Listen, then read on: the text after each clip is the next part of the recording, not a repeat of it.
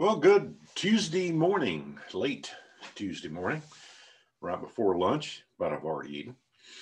Anyway, uh, I just got my second COVID Moderna vaccine today. And I was thinking, well, if I slump over, call 911.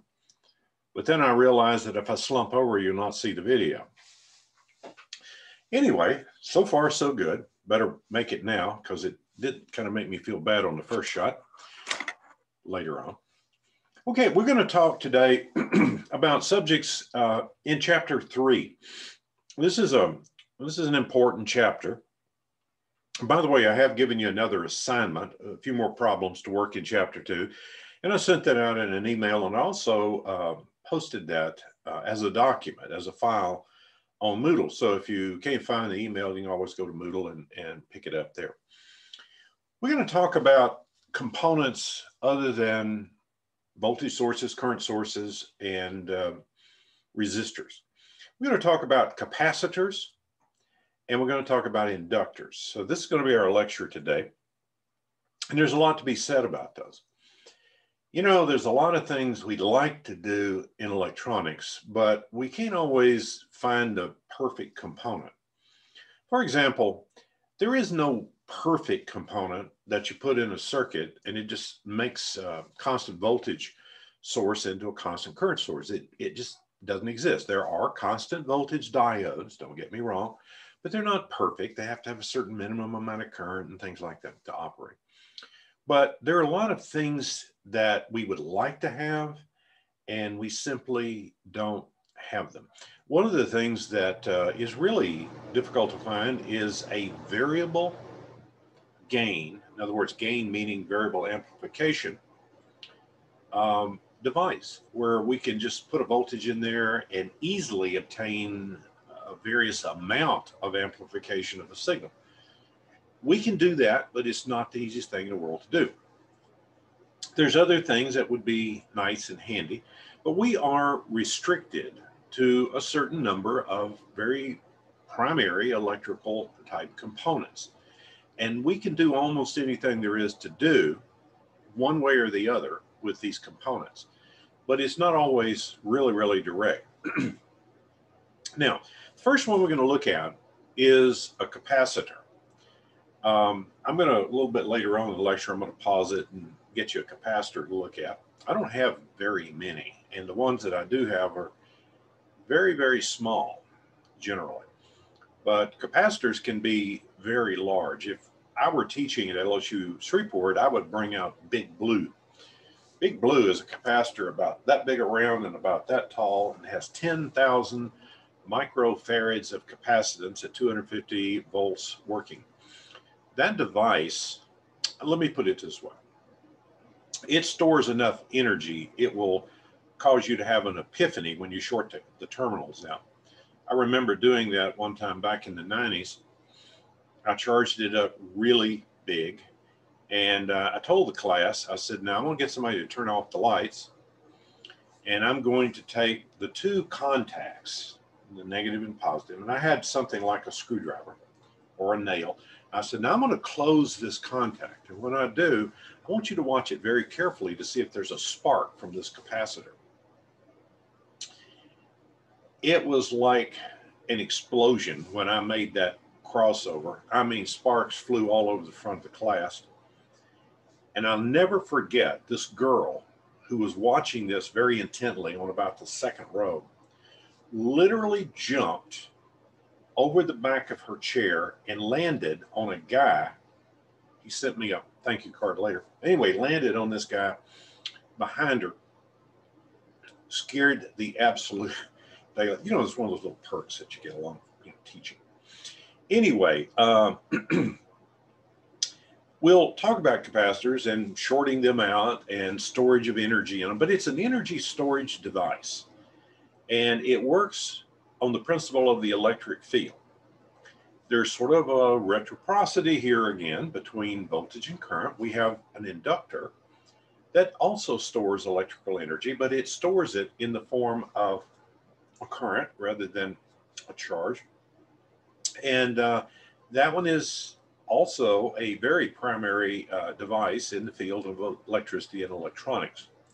So let's uh, let's go over here and let me do a screen share. We'll talk about uh, the capacitor. I've got a little, I've done some drawing and what I'm going to do is I'm going to talk about the major points here. saves me a little bit of time in drawing this out. But I'm then going to, uh, when I need to, I've got another notepad under here and I can do some more sketches and, and sort of take sidebars and do some explanations where necessary. Okay, to start with, um, I'm assuming that y'all have some primary knowledge of physics. Uh, you surely had a course, all of y'all, somewhere down the line in physics. But there is something called the electric field. And the electric field is sort of unique because it has different methods of expression. In other words, different units, if you will.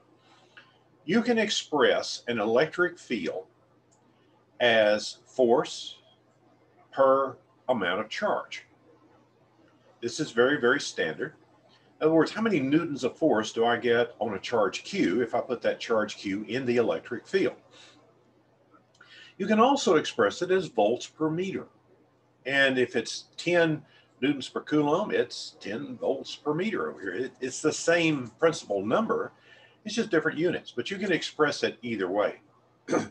now, if you have two metal plates, got a plate here and a plate here, these plates are parallel and the distance between the plates, let's just uh, define that. We'll say that that's D. We use a lowercase d, is the distance between the two plates. Now, the way this works is you got a battery here. If you attach the battery or any source, basically, what's going to happen is electrons, remember conventional versus electron flow, the electrons will flow out of the negative end of the battery, they'll come around the circuit, and they will fill this plate here not inside the middle of the plate. They actually exist on the surface of the plate. so the charge will actually migrate to the surface. There's no real uh, electric field inside the metal of the plate. This is some of the things that you learn from E&M, study of E&M.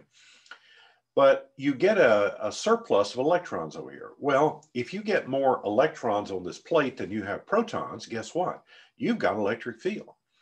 Because if the plate is neutral, in other words, an uncharged plate, then you've got the same number of electrons as you've got protons. So for every positive charge of a proton, you got the exact same charge in the electron covering it. Copper has 29 protons, got 29 electrons. Now, if you gave it an extra electron, it would have a negative charge of one, you know, unit, one electron unit. now, in this system, what happens is we got a negative over here, but this side over here literally sucks charge away and it moves it for a while, not continuously. This does not move charge continuously, but it draws some charge away from this plate. How much does it draw away? Well, um, it draws away the same amount of charge that was distributed over here. So what we have done basically is relocate charge. We've put more charge here and the amount of charge we put here, we essentially, that much was pulled away from this other plate. Now, there is an electric field between the two because you got an uncovered proton over here, and for every one of those, you got an uncovered um, or extra covered uh, electron over here. Now, if I were to put a charge here, let's say that is little q positive, okay? and I put it in between the plates.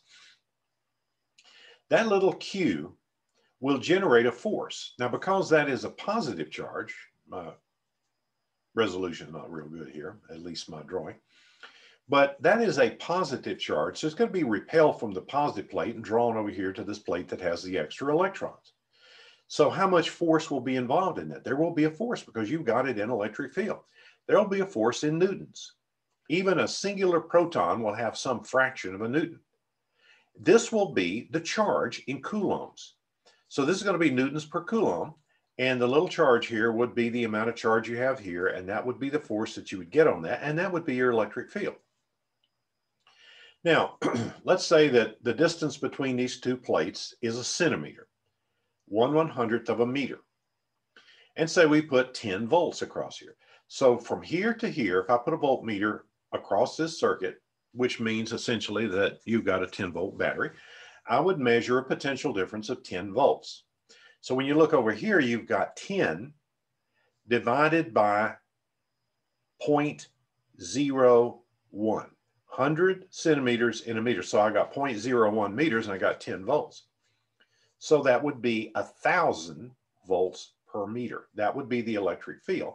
And would also tell me that whatever Q is, I'm going to have this many newtons per that many coulombs, and it'll be the same value as the volts per meter. now, inside the capacitor, you have to realize that this charge is well distributed.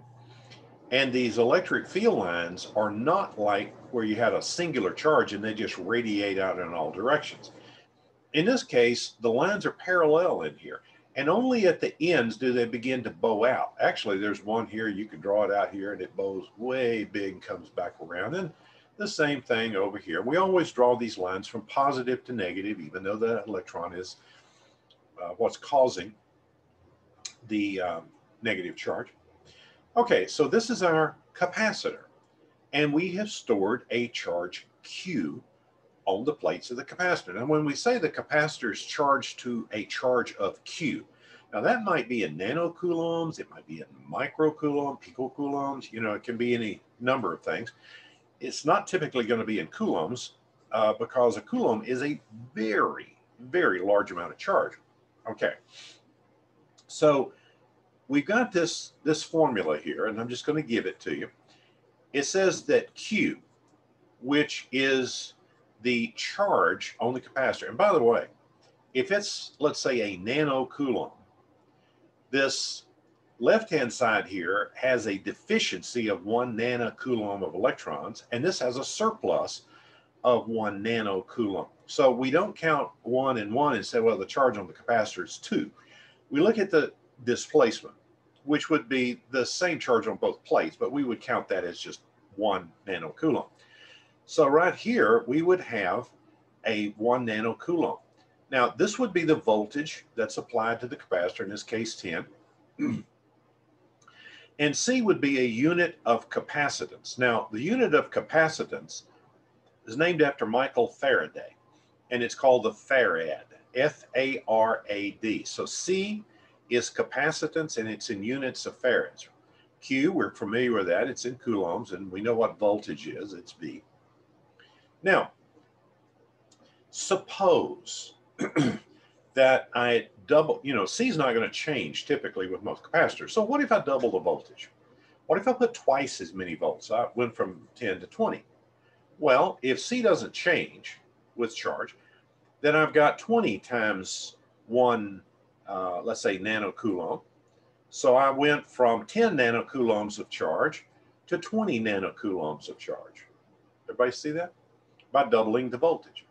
Now, if I make this source variable, I'm going to put an arrow through it to symbolize that this is something like a power supply, and we can increase it or decrease it in voltage or potential. So as we went from 10 volts to 20 volts, the charge increased. Now, how do you get the charge in this capacitor, the plates of the capacitor? How do you get it to increase if you don't flow a current? So as you're going up, you're going to be flowing a current. I'm going to use a script I rather than the big I because this can denote both an alternating current and a changing current. Usually when we use uppercase I, uh, that, uh, that's basically indicating that we have a constant current. So anyway, here's the deal. As you change the voltage, every time you get a dV over here, okay, Every time you get a change in incremental change in voltage, a dV, you get a dq. Well, dq over time is a current. So we have this equation right here. The current, and I could put, you know, a function of t, I of t, if I wanted to. Um, I of t would be equal to dCV, okay, dt. now the c can be brought out because it's a constant.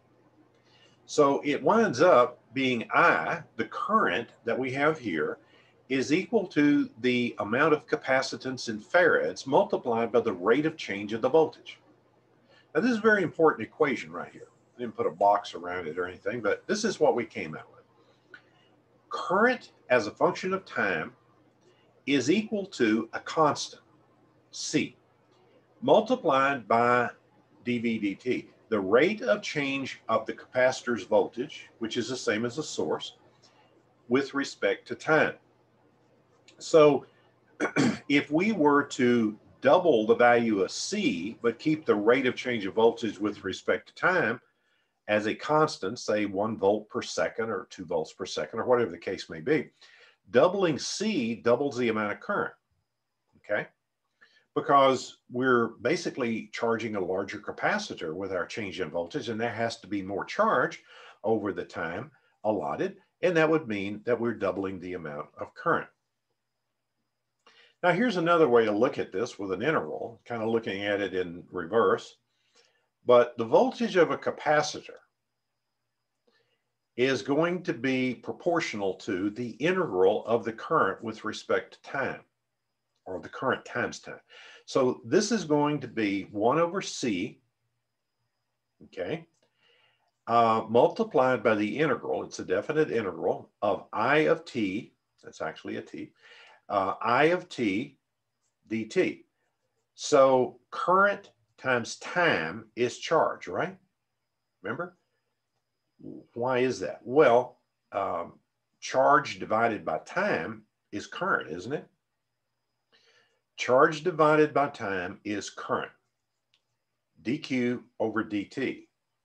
So if we take the dt and multiply it by I, we get the change in charge with respect to I times dt. When you integrate, you wind up uh, with a few substitutions. Here you have uh, the voltage across the capacitor is equal to 1 over C times the current with respect to time integrated over that time from T1 to T2. So what does that mean? Well, it means that the larger the capacitor, if you put a big capacitor here where you removed a small capacitor, then what's going to happen is this one over a larger number is going to make this fraction a lot smaller. So the voltage is going to grow a lot smaller for the same amount of current over a period of time. Okay.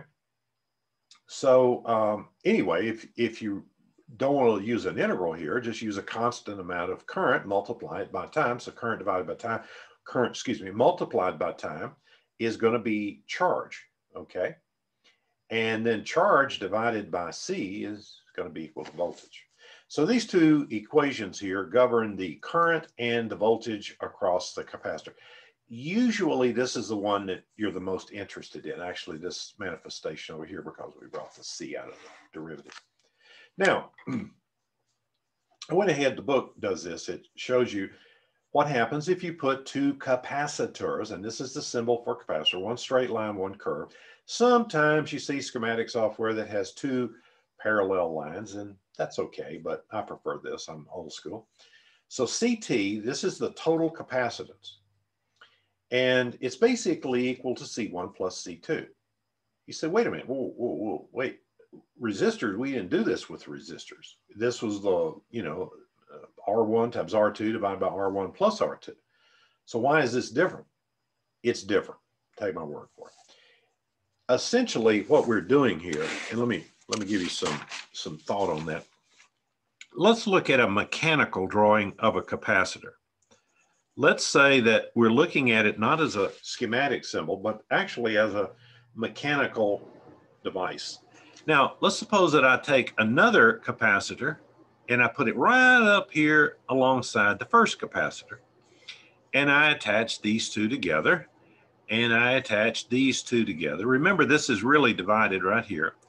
But this plate is essentially connected to this plate. And you could call that port A and you could call this port B. And this plate's connected to this plate. So what we've done is we have effectively doubled the area of the capacitor.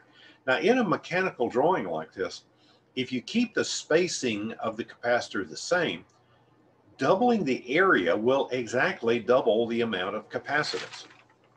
So what we're doing here is we're, in this, we're basically doubling the area. Now, if I had two capacitors and I put them in series, here's one, I'm doing a mechanical drawing, and I'm just gonna not put the leads on the bottom of the first one, the top of the second one. But in other words, I've got this one's got a spacing of D and this one's got a spacing of D. So now what I have is I have two that are at two spacings. So that would be 2D. 2D or not 2D, that is the question. But anyway, so I've got double the spacing here. And we're going to learn very, very shortly that when you double the distance of the plates, your capacitance goes down to one half. So looking at this, essentially, if these are identical capacitors, and they do not have to be, but if they're identical capacitors, I've taken a D's worth of spacing here and a D's worth of spacing here, and essentially made one capacitor with two D worth of spacing. So the capacitance will go down. Now, if I have a 10 microfarad here and a 10 microfarads here, and I put them in series, I will have a half, excuse half of that, which would be five microfarads. So the equation for capacitors in series looks like this. CT is going to be equal to 1 over 1 over C1 plus 1 over C2 plus etc. If you have three or four or five, you just keep adding terms in the denominator. Now, if you have two and only two, you can do the same thing we did with resistors in parallel, but these are in series. This would be C1 times C2 divided by C1 plus C2. So this is the way that you work these out. Using these rules, uh, we can combine capacitances, and I'll give you some problems later where we'll work that all out. now, I want you to understand that we can have a vacuum in between the plates of the capacitor. If we go back to our capacitor here, and let me just draw one, one capacitor with two plates, the quintessential standard capacitor, we got D's worth of spacing here, and we could make this positive, we can make that negative, put a charge across here. You have electric field running across it. Now, inside of this capacitor, uh, we could default and just say you've got a vacuum. I'll just write VAC. In other words, there's no air, there's nothing in here. So we have what's called free space, free space in that capacitor. now there is an equation where if we know a few things about the capacitor, we can calculate the amount of capacitance.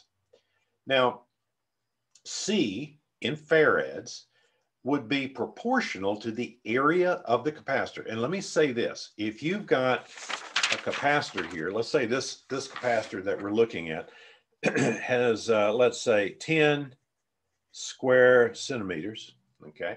So this is 10 square centimeters, and this plate is 10 square centimeters. We don't double count that. That would be a capacitor with an area of 10 square centimeters. You don't double count each plate. Let me show you another thing. Suppose you had one plate that looked like this, and let's say that it had 10, um, let's do it this way, centimeters, this is better. The area is 10 centimeters squared. And let's say I've got another plate and it's not exactly on the first plate. It's offset a little bit, but it's also 10 centimeters squared. This is the only area that you count. The other area here is, is for practical purposes, generally not countable. So you would be looking here at only the overlap of the two plates, and that would be your area. So what would that be? The area would be 2.5 centimeters squared. It would be a quarter of this because we're only using one quarter of the whole area here. you can't count them double. So it's not a quarter and a quarter giving you a half. That's not what it is. This is one quarter of 10 centimeters because that is the overlap between two 10 centimeter plates. All right, so that's the way that you do area. D is in meters area is in square meters, okay? And the capacitance is proportional. That doesn't look much like a proportionality, but anyway, it's proportional. so how do we actually make C into real farads if we have a plate area in square meters and we have a D in, in meters for spacing. Well, we introduce a concept.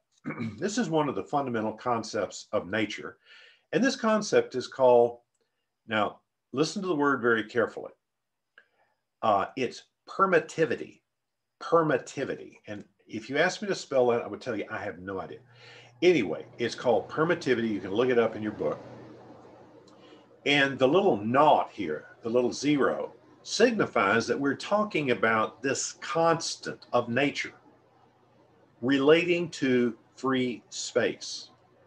So epsilon, and that's the Greek letter here, epsilon naught is the permittivity of free space. And the number that's associated with that is 8.85 times 10 to the minus 12. It does have units, I didn't write them down here. But that's our value of epsilon naught.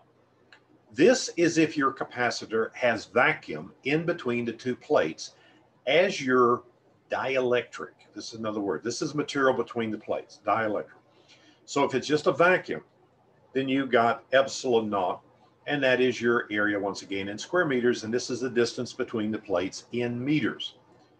Now, mind you, this is a very, very small number. So if you had a, you know, if you had uh, say one meter here, one meter, and say this was a millimeter, then if you had a square meter and this is one millimeter, it's 0.001, then, then you would have a thousand. When you divide this into one square meter, you would have a thousand. So basically that would just move this by three decimal places, but it would still be an incredibly small number for the capacitance. So let me give you this uh, epiphany. Capacitors are one of the things, it's the only thing I can think of right now in electronics or electricity or electrical engineering, that the basic unit is so enormous that we don't see it in practice uh, almost ever the farad is an unthinkable amount of capacitance for most applications. So something like this would be something like this would be um, very tiny portion of a farad. Even if you multiply this number by a thousand, which would be our area uh, of one square meter divided by 0.001 meters, that would give you a thousand. So that'd move the decimal place three. But still, with a capacitance in that range, it is a small, small value. So what kind of capacitances do we normally see in electronics? Well, you'd be surprised. Um, it, it varies a lot. Like, for example, in power supplies, we would have a capacitor maybe. Let's say here's our capacitor. It's not much of a, it's not a very pretty capacitor. But anyway, um, in a power supply, we might have uh, oh, it, it can go up above this, but let's say 10,000 microfarads. And you sometimes will express this in millifarads, but I'll tell you, a lot of times, a lot of times these capacitances are expressed in a very large number of microfarads. Um, one of the reasons behind this is the, uh, the prefixes. For example, milli looks like an M. And on a capacitor years ago, they weren't able to put a mu sign, uh, which is essentially that, which is one times 10 to the minus six. So they would use an M and uh, that would be microfarads. And they didn't even use milli because it's confusing to use it with M for microfarads stamped on the body of the device. And then you have micro microfarads. And years ago, they would actually write that this way. It's very, very unconventional. So this is kind of messed up, if you will. But uh, the capacitor I was telling you about, Big Blue, has 10,000 microfarads. Now, you can get capacitors way larger than this. You can get them way bigger than this. And I have seen some one farad capacitors, but they're expensive and they're few and far between. That is a huge amount of capacitance. Oh, by the way, if you have um, in electronics, if you have a field effect transistor, this is actually called an IGFET. um, this would be like an enhancement mode FET. This is what's used in in digital electronics. It would be something like that. And, you know, this is a, uh, this is an N channel uh, FET, or um, actually another term is MOSFET. Uh, so a MOSFET is a metal oxide semiconductor. Now, to make this thing work, this is like a little capacitor and it is microscopic. You'd have to have a microscope to see it very, very tiny.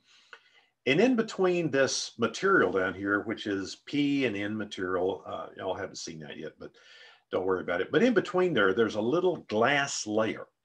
This glass layer is like silicon oxide that's deposited on here. and it is, it's, it's like glass. It has an incredibly, incredibly high resistance. So virtually no current. If you put five volts on this, it just doesn't pass any current over to this stuff over here. Now that is very, very desirable because we can control voltage and current over here on this side. This is the drain and that's the source. And this is actually, by the way, called the gate. And I'm drawing this looking at the computer screen and not the actual pad. But anyway, uh, this has almost infinite resistance from the gate over here, but it does have some capacitance. So it actually looks like a little capacitor in between the gate and the source or a gate and the drain and that type of thing. Now, what would that be? Well, typically it's probably two to three pico farads.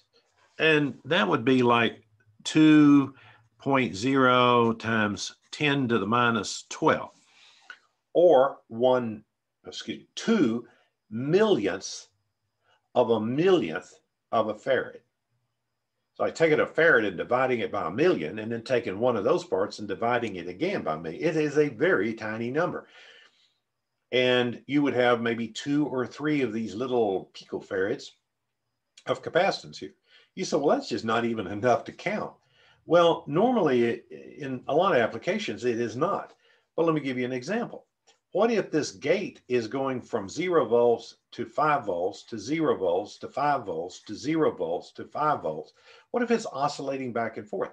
This thing is charging and discharging, charging and discharging, charging and discharging. And as it goes through this process, it's actually taking some charge from somewhere and putting it on that gate and then it's taking that charge and pulling it down to ground. so I have a current going in, I have a current going out, I have a current going in, I have a current going out.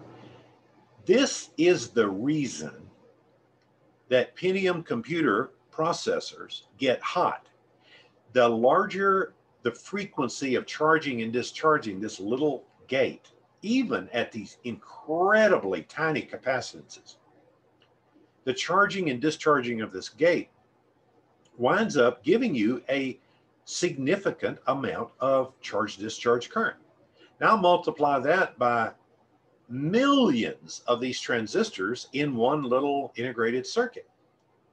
This is why people, I, I, don't really understand this, but this is why you have gamers that go in there and they have to run water to their computer to cool their chip because this will get so hot that either the Pentium will go into a slowdown mode and shut the clock speed down to keep this thing from charging and discharging as quickly. You got to remember, it's not just one, it's a whole bunch of them.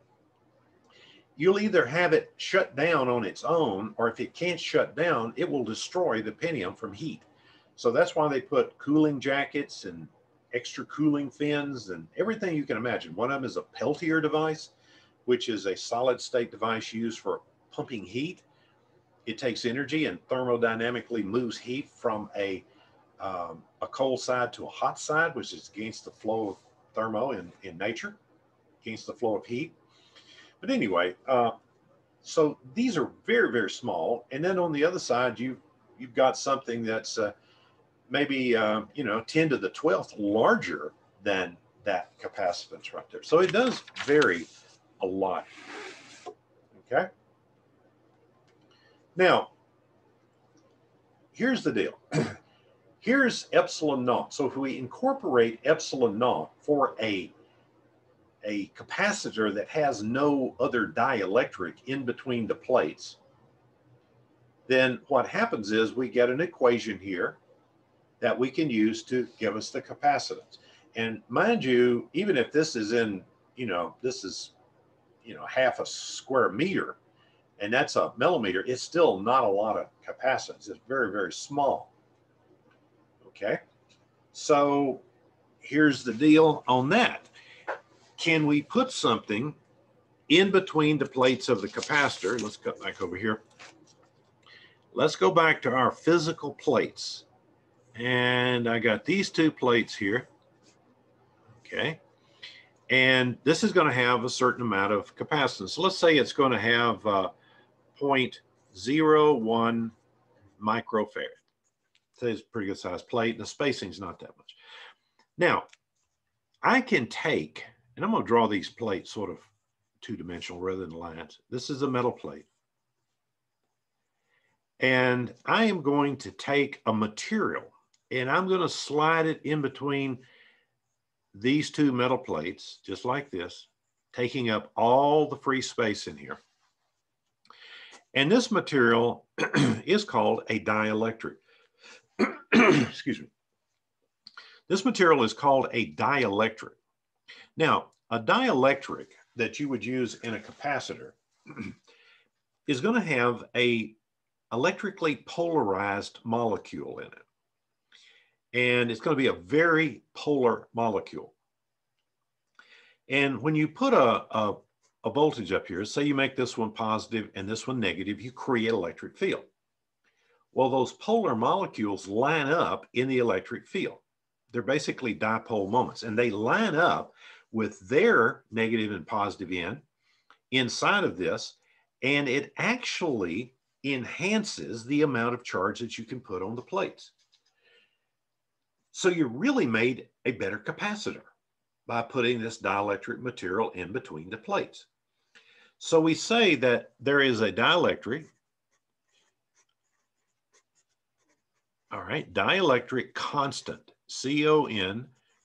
C-O-N-S-T-A-N-T, constant, dielectric constant. Now we normally represent that, normally represent that, or many times represent it as capital K. Now this is not the same K that we see in um, other areas of electronics or like Coulomb's law or anything like that. This is not the same constant. Okay. This constant right here is actually dimensionless. It has no dimensions whatsoever. So K could be equal to uh, two, it could be equal to 100, etc. And by putting it in here, what we've done is we've actually rearranged our equation for capacitance, and now it is C, the capacitance, would be equal to uh, K times epsilon naught times the area divided by the distance between the plates. So we've introduced this in the numerator, and K is a dimensionless number. So the dimensions here, they're not affected by K because it doesn't have a dimension all this does is to say if I put K here in here, and it has a value of two or a dielectric constant of two, then this 0.01 microfarad capacitor goes to a 0.02 microfarad uh, capacitor. Now, if I put 100, you say, is that large? Well, no, not that large, believe it or not. But if I put a dielectric constant material in here that has a dielectric constant of 100, then literally I'm going to take this original amount of capacitance and multiply it by 100. So I will have a 1 microfarad capacitor rather than a 0.01 microfarad capacitor. We're going to move that decimal two places to the right. You might say, you mean to tell me you put a material in there and this capacitor goes from a hundredth of a microfarad to a full microfarad? Yeah, that's exactly what I'm saying. Now, what is the range of dielectric constant? Well, uh, if you put air in here, if you really have two plates here, 99.99% of the time, it's not going to be in space. So there will be air in here. Air is a very good insulator. It does have the ability to break down at a certain voltage, but it's a good insulator. And air has a dielectric constant of I don't know, but you can look it up, but it's 1.000, et cetera. It's just a little bit more than one because a vacuum has a dielectric constant of one. In other words, if you put one here, why even leave the K there? Just go to epsilon naught A divided by D. So K is dielectric constant and it is an amplification factor based on the type of material that you put in between the plates. But now keep in mind that if you do not get this material all the way up against both plates, and it is an insulating material, so it's not allowing current to flow here to any extent, uh, you got to get it all the way up, fill the entire area to make this work. If there's a little gap here, then essentially you have one capacitor with less than D spacing with a dielectric constant of whatever, and you got another one up here that's probably got air in there. So you got another capacitor in series that's just got air in between the plates, but a small D spacing. And that will diminish the amount of capacitance that you actually get from this. Now, with this said, the constant is K, but there's another way to write this. We can write this as epsilon sub R. Epsilon sub R is called relative permittivity, and it is, just like K, it is dimensionless. So you got a dielectric constant of K, you have relative permittivity of two. You know, if this is two, that's two, okay? Now, we could rewrite the equation and say C, just like this, is going to be uh, epsilon naught times epsilon r times a divided by d. We could write it like that. That's totally okay. We could also write it this way. Epsilon, epsilon sub m is the permittivity of the material permittivity of the material itself, in other words, the dielectric. And it is going to be equal to the permittivity of free space times the relative permittivity. So we could write it this way. We could write epsilon sub m, and that incorporates both of these, uh, times a divided by d. And that's just another way to write the whole thing. Okay. By the way, it's interesting. It's very, very interesting. I'm not going to go into it. But, you know, I told you there's this reciprocity throughout electricity between current, voltage, capacitance, inductance, etc. And uh, anyway, when you start when you start looking at some of these things like uh, permittivity and everything, uh, the other constant, which I am not going to explain or get into right now, but it's called the permeability of free space, and it deals with inductors. This is for capacitors, this is for inductors. Electric field here, magnetic field over here. So there's another one of these constants. And actually, it was James Clerk Maxwell that took this constant and uh, this constant, permittivity of free space, took those two and developed a formula where when you divided it out, you came up with a number, and guess what that number was? The speed of light. Because electromagnetic radiation, which is light, travels at a fixed speed. And he actually forecasted using these two numbers, constants of the universe, he formulated the speed at which waves travel in the medium, and he was incredibly close. They didn't have perfect figures for these back in the 1800s. But he got it, he nailed it. And it is an amazing piece of work. They said that Maxwell just couldn't make an error. Said he was, his mind was like a steel trap. Anything that he thought about, he made no errors. I wish I could be more like Maxwell. But anyway, this is the this is the stuff on capacitors. Now, there's a few other things that uh, I need to show you and uh, one of them is this. This is U. And a lot of times we use a capital U and put a subscript with it to denote energy. So what happens if I charge a capacitor? Well, I've actually done work. It's electrical work, but it's not that dissimilar to actual mechanical work, force times distance. But we put some charge in there with the voltage. We had to push it to get it in there. So we did work putting that charge in there.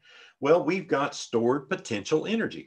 This is actually potential energy that is related to the capacitance and the amount of voltage across the capacitor.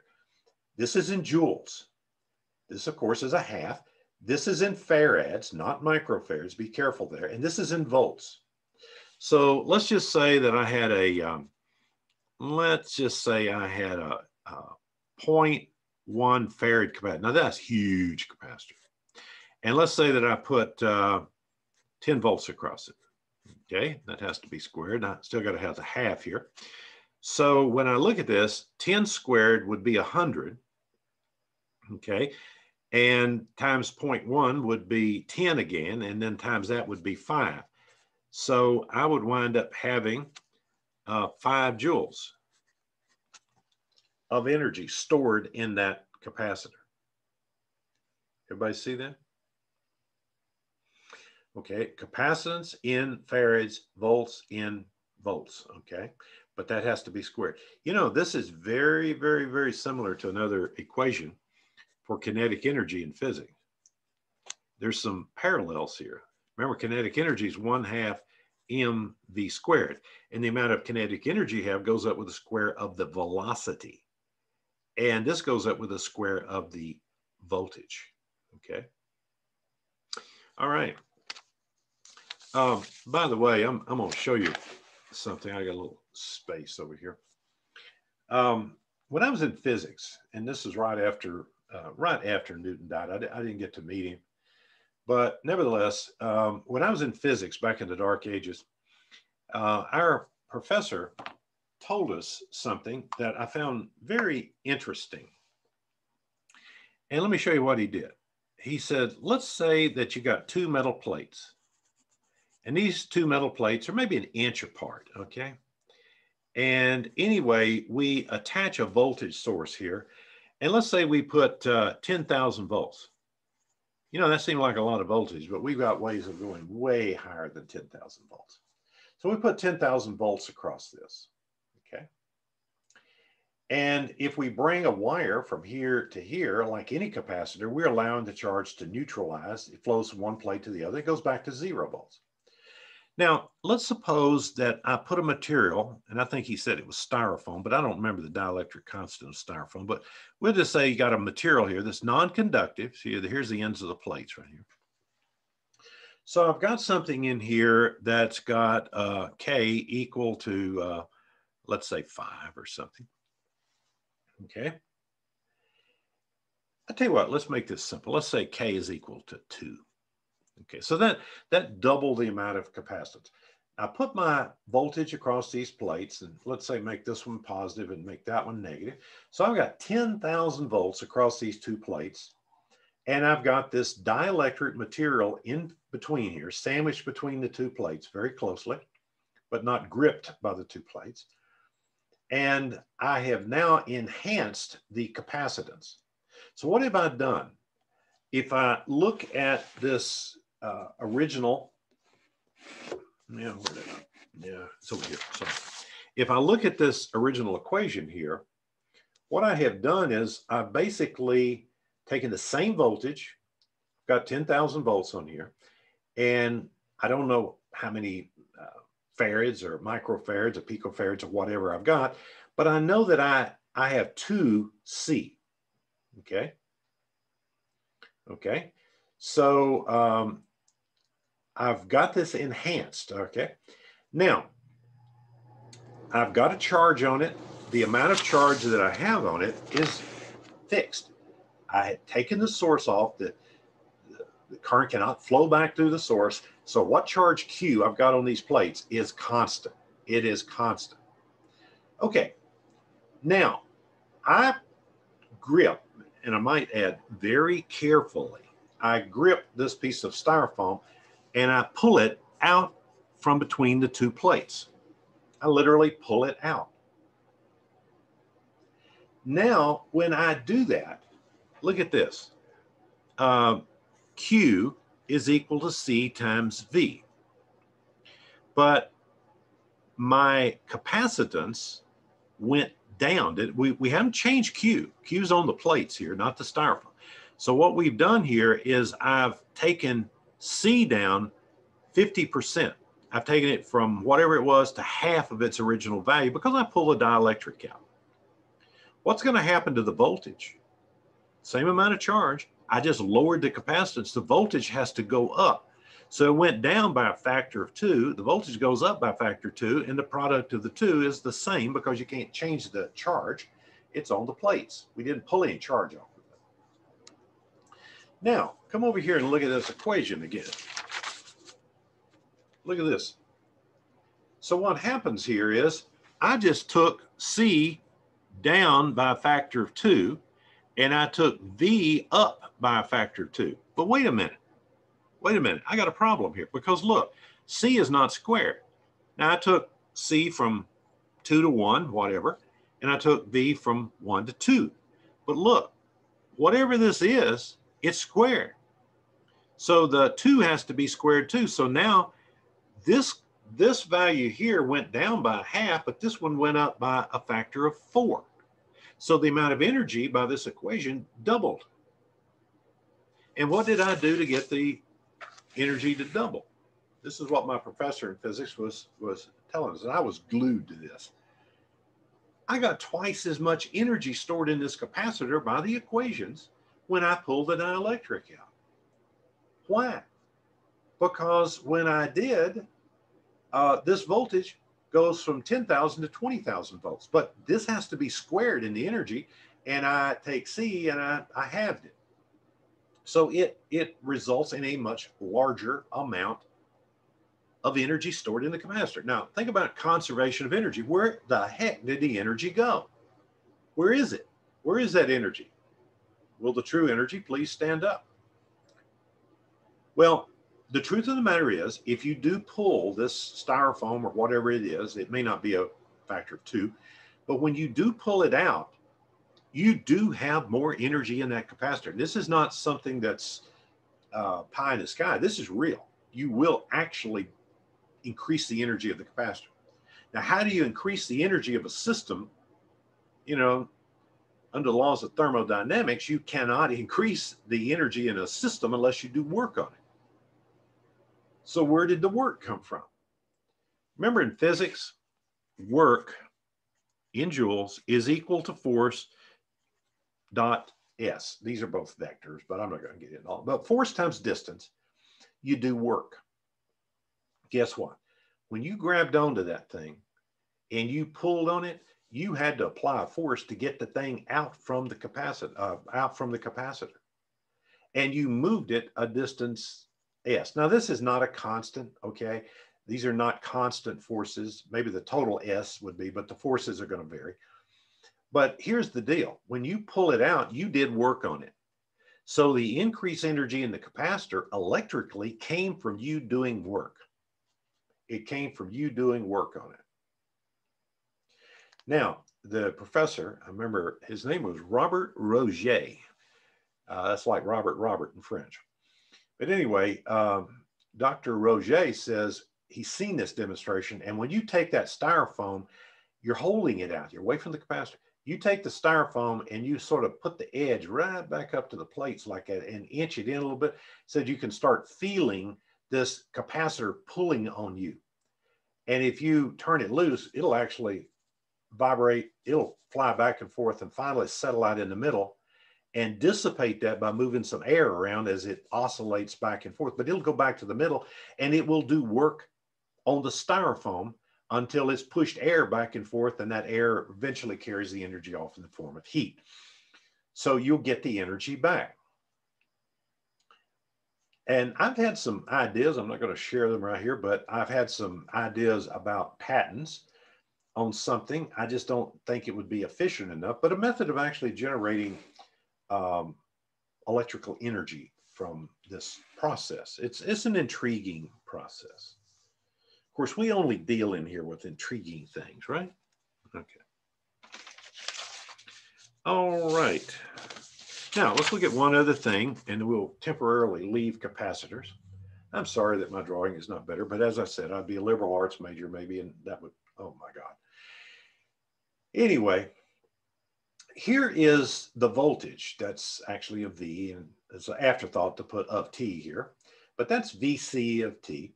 And uh, this is say positive and this is negative down here. And so time is on this axis. But what I'm going to do is I'm going to start right here with no voltage across the capacitor. I've got a source, I've attached it, zero voltage. And then very gradually, I'm going to ramp that voltage up to this point right here. This is going to be like one volt, two volts, three volts, four volts, five volts, whatever the case may be. Um, but I'm going to have a steady linear increase in that voltage. Now, let's go back and look at the current equation. And it says that the current is equal to C, C is a constant, times dV dt. So the change in voltage with respect to time divided by the change in time, and we're doing this as a derivative. This is the rate of change of voltage with respect to time, is going to give us a current. So if we look down here, what you see is a constant upward slope gives us initially a current here. When this slope begins to rise, when it begins, this is going to be level across here. This is going to be the current through the capacitor, I sub C. So it'll be constant as long as this is rising. Because what happens if you take the first derivative here? Well, you get a number. That number is the current. What if you take it here, or here, or here, or here, or here? All of those give me a constant rate of change because that's a straight line. It's linear. So when I take the derivative, I get a constant. But then up here, it doesn't go to zero. I've still got voltage across the capacitor, but I don't increase it or decrease it for this period from here to here. Well, as soon as I stop increasing it, my current drops immediately to zero. There's no more charge going in or out of the capacitor. And it stays there until I reach this point right here, which is that point. Now, I didn't do this real well, but I've got a, have uh, got a, a steeper decline. Well, this is a slope, but it's negative. And what happens is that's going to wind up giving us a very negative uh, value of current down here. It's going to be more negative than this was positive, And it's only going to exist between here and here. That is between here and here.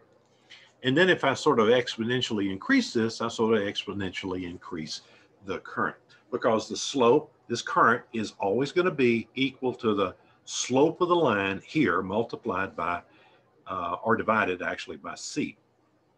So we can differentiate um, with this device. Anyway, okay.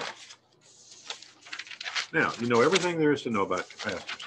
Let me, let me pause this uh, stimulating simulation. And um, what I'm going to do is I'm going to dig around here in my lab. And like I said, I don't promise you large capacitors because we don't usually have any. But I'll see what I can find, and I'll be back in a second and uh, show you a capacitor or two. Just hang on. Sorry to keep you so long. I, I have I hunted my uh, lab over for large capacitors, and I had an, I had my own version of an epiphany. I'm still looking, but I didn't see any larger capacitors. Now this is this is crazy because I would have really realized. I would have thought that somewhere in here I'd have a, a larger example of a capacitor, physically larger. I did find this, and I'll show you show you a couple of things. I did find one interesting capacitor. This is a uh, circuit board. Let me cut to this and show you what I'm looking at here. Um, I kept this right here as a uh, just sort of a souvenir. I, uh, as you know, I told you I built a submarine back in the 90s, and the technology back in the 90s wasn't anything like what it is today. I didn't have the ability to generate a printed circuit board very well. So what I had to do, I think it's better if I put it here. Yeah, much better. Anyway, I had to use what's called wire wrap. I made a few wire connections on the back of this board. This is actually the way I used to build micro computers and so forth uh, using a wire wrap. See, this is my legend about which which terminal, which wire goes where and what. This was built in the 90s. and this was part of the system that, and this is only one module, but this is part of the system that controlled things on my submarine, reported data to me in the console and, and all of that. That's a micro uh, controller. And uh, a little window here, quartz window allows you to have uh, ultraviolet C, UVC light from a source that I have to go through there and it would actually erase that. You could reprogram it. These are voltage regulators here, and these are various chips. This right here is an example of a capacitor. That is a capacitor right here. Here's another one. These are resistors. And here's a capacitor. This capacitor right here is placed directly across uh, this, this chip here. And this was put here because I needed to do what's called bypassing. And this is a 0.1 microfarad bypass capacitor. Those are very standard issues. Now here's some sort of, uh, I don't know what this is, probably a, a, filter of some sort. Here's capacitors lined up here. Here's some resistors. These are potentiometers. Here's a capacitor, here's a capacitor, here's a capacitor. Now, oh, and here's a standard what's called a disc ceramic. And this is also a disc ceramic capacitor. And I think that's one there. Yeah. And these are tantalum. It just has to do with the type of capacitor. Here's some bigger tantalums. These tantalums are used where you bring power into the system. It's sort of as a filter. There's another, uh, and there's there's a, another look at a disc ceramic, just a different uh, type of capacitor, but nevertheless they are capacitors. 7662. This converts a positive voltage to a negative voltage to drive operational amplifiers. Anyway, uh, it's pretty neat little, little device. A 308. That's an op amp. Okay. Anyway, I, I did this in about 30 minutes. No, I'm just joking. Anyway, so you got to see that. Here's one for you. Look at this. I don't even know where I got this. I didn't get it off the power line, so don't go reporting me. Um, it's a little bit not right to read for the camera, but it says uh, right here, you can't read this, but I'll read it to you. It says type, gives you a type, type 1960. I have no idea what that means. And it says MFD. Now, to tell you how screwy this gets, this is an older capacitor. It's a power line capacitor, very high voltage capacitor. And this is a 0.0043 MFD, microfarads. Yes, that is right. And it says uh, peak, it says P-E-A-K right here. And over here it says WKG volts. And I do need to cover that with you. And um, it says ambient temperature or something, Celsius 60, maximum ambient temperature 60.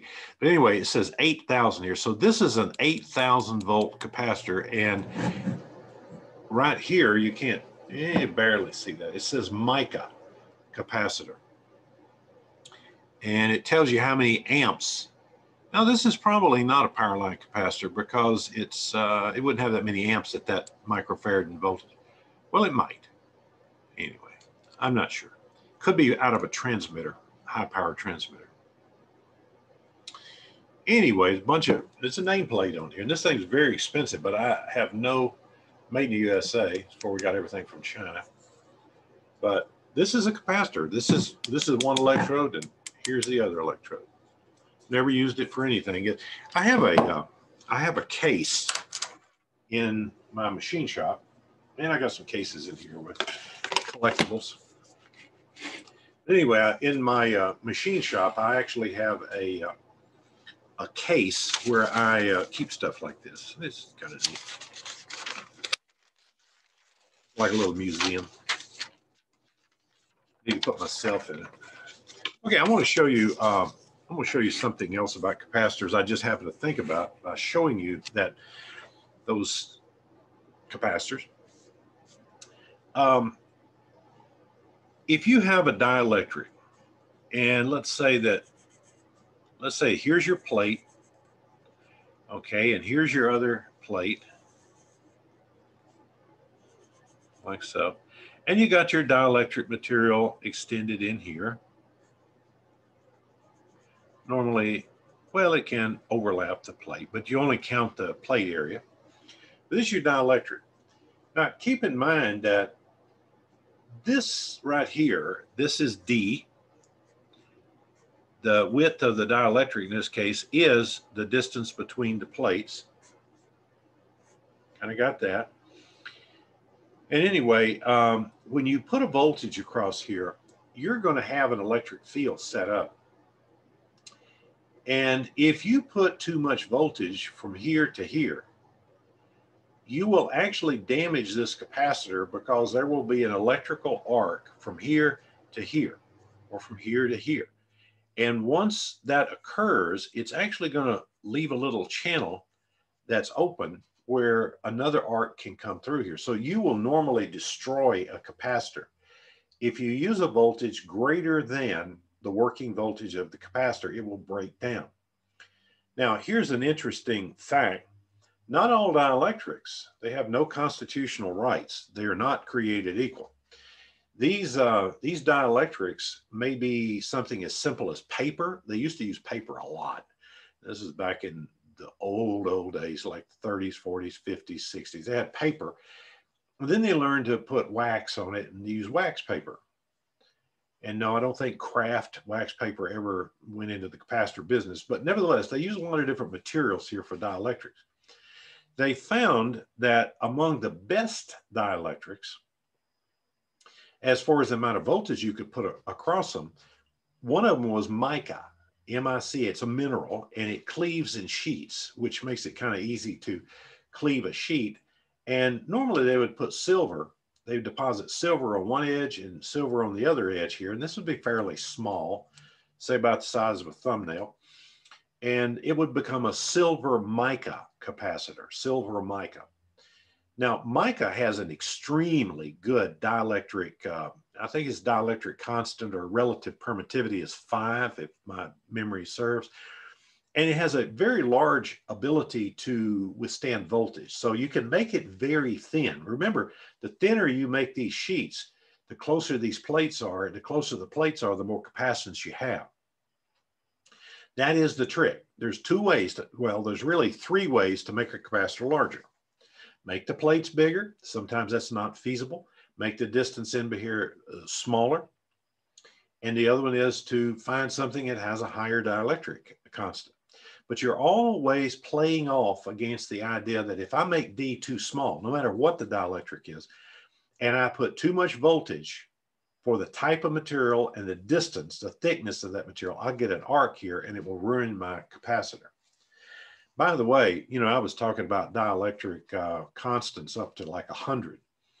There is a material called barium strontium titanate, which is a ceramic.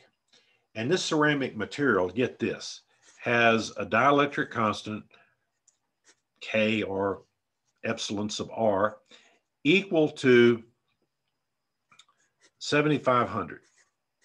Remember, it's dimensionless. 7,500. So you got a microfarad capacitor. You put this in between the plates, you get a 7,500 microfarad capacitor. But keep in mind, um, they do use this for capacitors and they get the plates down to a certain thickness. But if you go below that and put too much voltage, it's had it. Okay. So they rate capacitors. Um, for example, you might look at a capacitor uh, spec sheet and it say 50V, or sometimes it'll say 50V DC. This is very common. This stands for 50 volts direct current. Now, what you have to understand when you're dealing with capacitors, if you put alternating current across a capacitor, and we will talk about this later on, but not today, alternating current looks like this, okay? And if it's 120 volts, like wall outlet, you know, it's about right here. The peaks, the peak voltage right here of the wall outlet is about 169 and some change. So almost 170 volts here, negative 170 volts here with respect to ground. Now here's the deal. If I were to say, I'm going to get a capacitor and I'm going to get a capacitor that's 130, and sometimes it'll be labeled this way, WVDC, working volts DC. So in a case like this, the dielectric is not guaranteed to withstand over 130 volts at any time. But if you're plugging it into the wall, you say, well, I got 120, so I got 10 volts to spare here. Well, actually what happens is this goes up to 170 almost, and then back down and negative 170, positive 170. So this oscillates back and forth and gets up to much higher voltages. And when it's in this region up here, you get your little lightning discharge between the two plates. So you have to be very careful.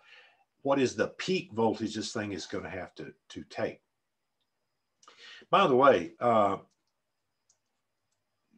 when you're dealing with these figures here like this, uh, there are ways of actually depositing a material and then depositing a metal and then the material and then the metal and then the material and the metal, and then connecting every other piece of metal over here on one side and every other piece of metal on the other side and making a, uh, a stack, if you will. And these are, uh, these are a new type of capacitor and they really have very, very uh, good capacitive characteristics at relatively high voltages and very, very small space. Very, very small space. Now, one might ask, um, if you need a 0.1 microfarad capacitor, where do you get one? Well, you could just take two very small plates, put something like that in between them, doesn't even have to be that high, and you could easily generate that in a very, very small, physically uh, small something, maybe literally that size or smaller. Some of these uh, are so small, I don't even think the camera would pick them up. The capacitors that I use are usually about that big physically. Okay, um, show you one. This is uh, one of my boards here. And uh, that right there is a 2.2 microfarad. I just remembered that. And I've got a couple, I can't even see them hardly without a microscope. Um, one of these is, I think, a 10 microfarad, and the other one is a one microfarad. My memory serves me. But see, they're surface mounted. They're very, very tiny. Very, very tiny. That's usually what I deal with when I talk about capacitors.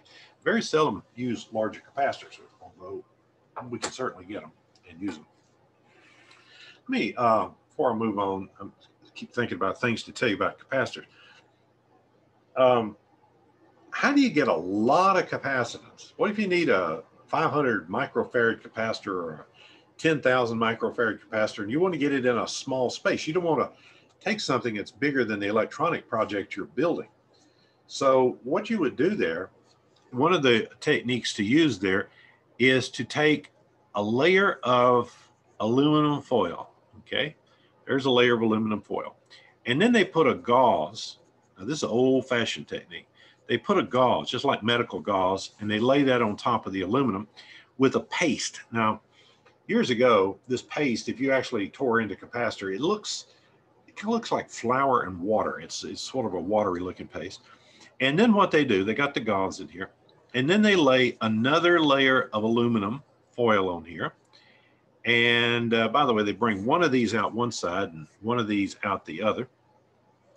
And then they put some more gauze and paste up here.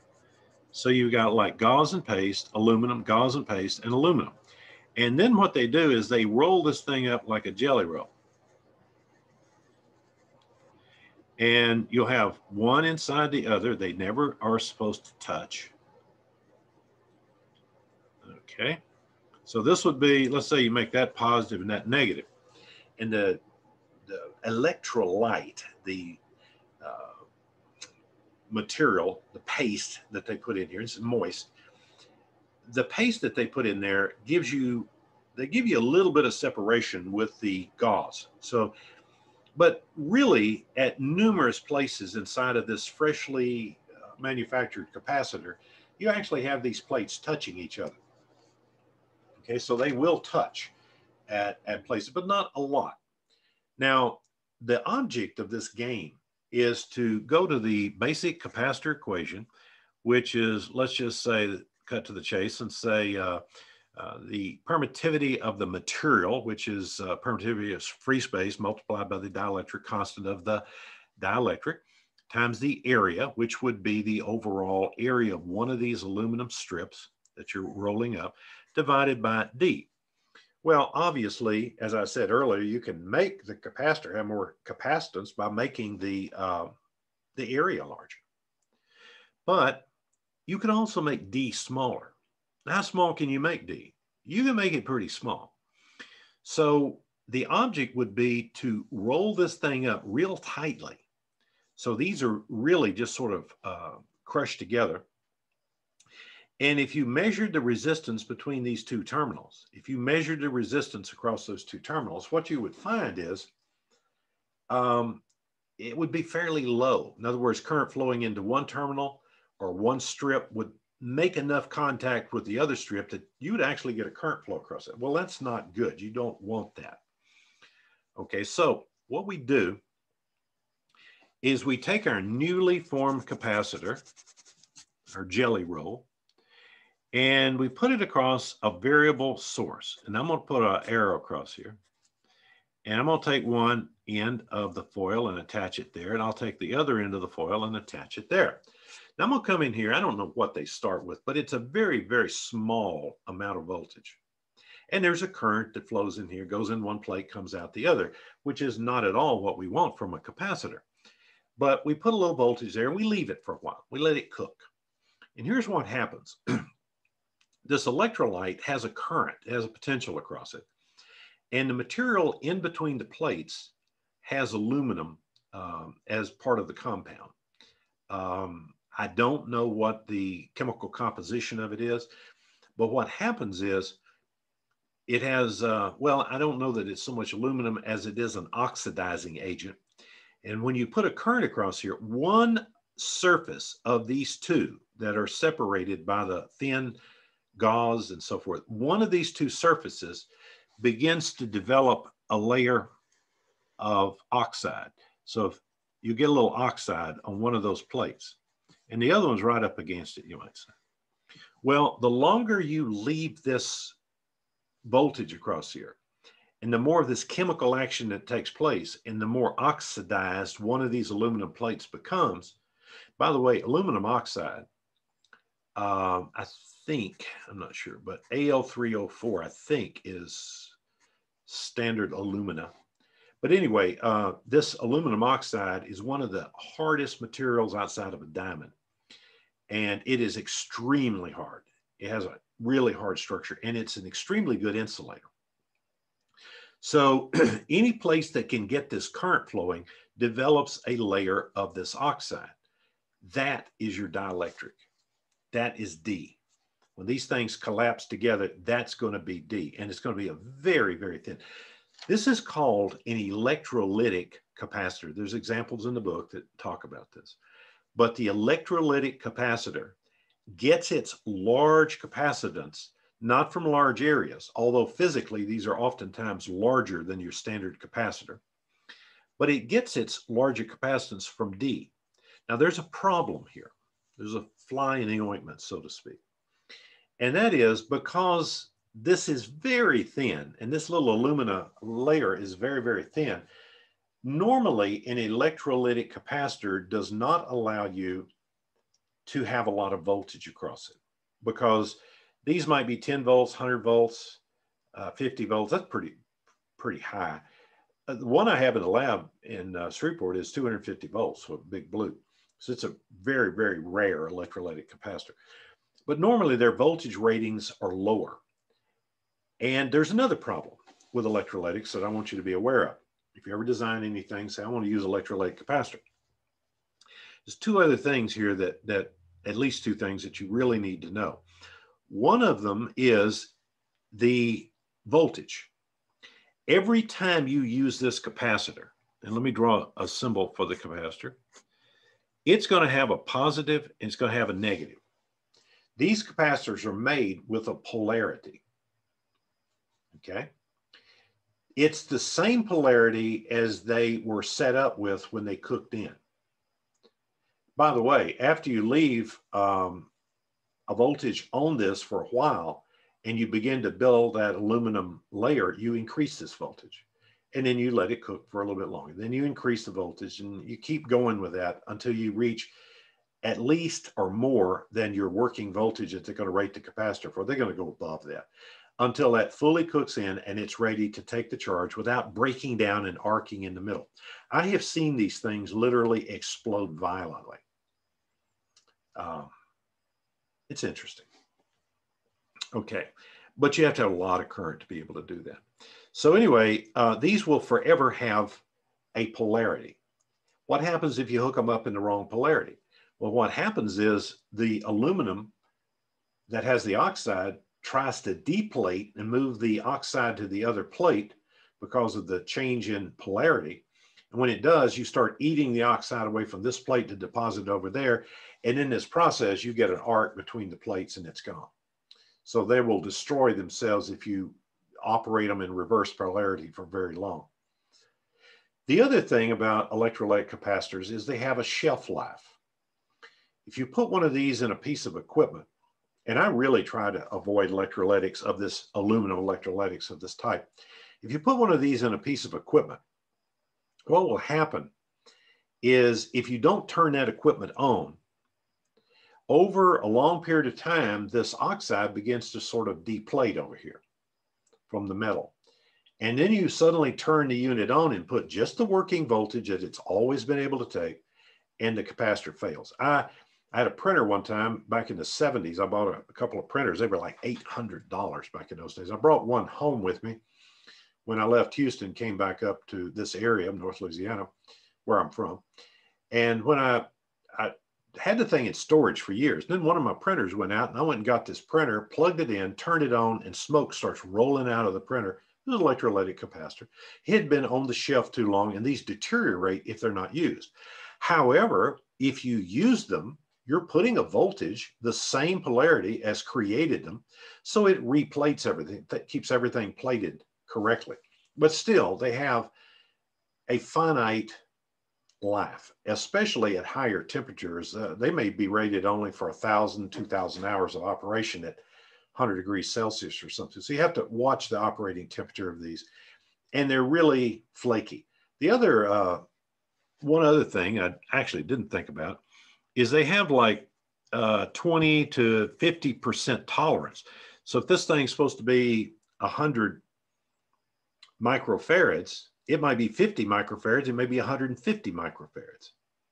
Or if it's rated at 100, it might be 80, if it's a better one, might be 80 or it may be 120.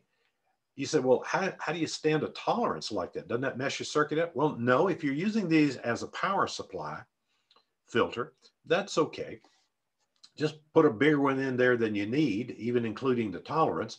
And having a 50% tolerance may not really affect anything at all. You just need a one dinger big amount of capacitance in the circuit. And these are relatively small. So the capacitive density of an electrolytic is, is large. It's fairly large. Okay. All right. Um, thinking here.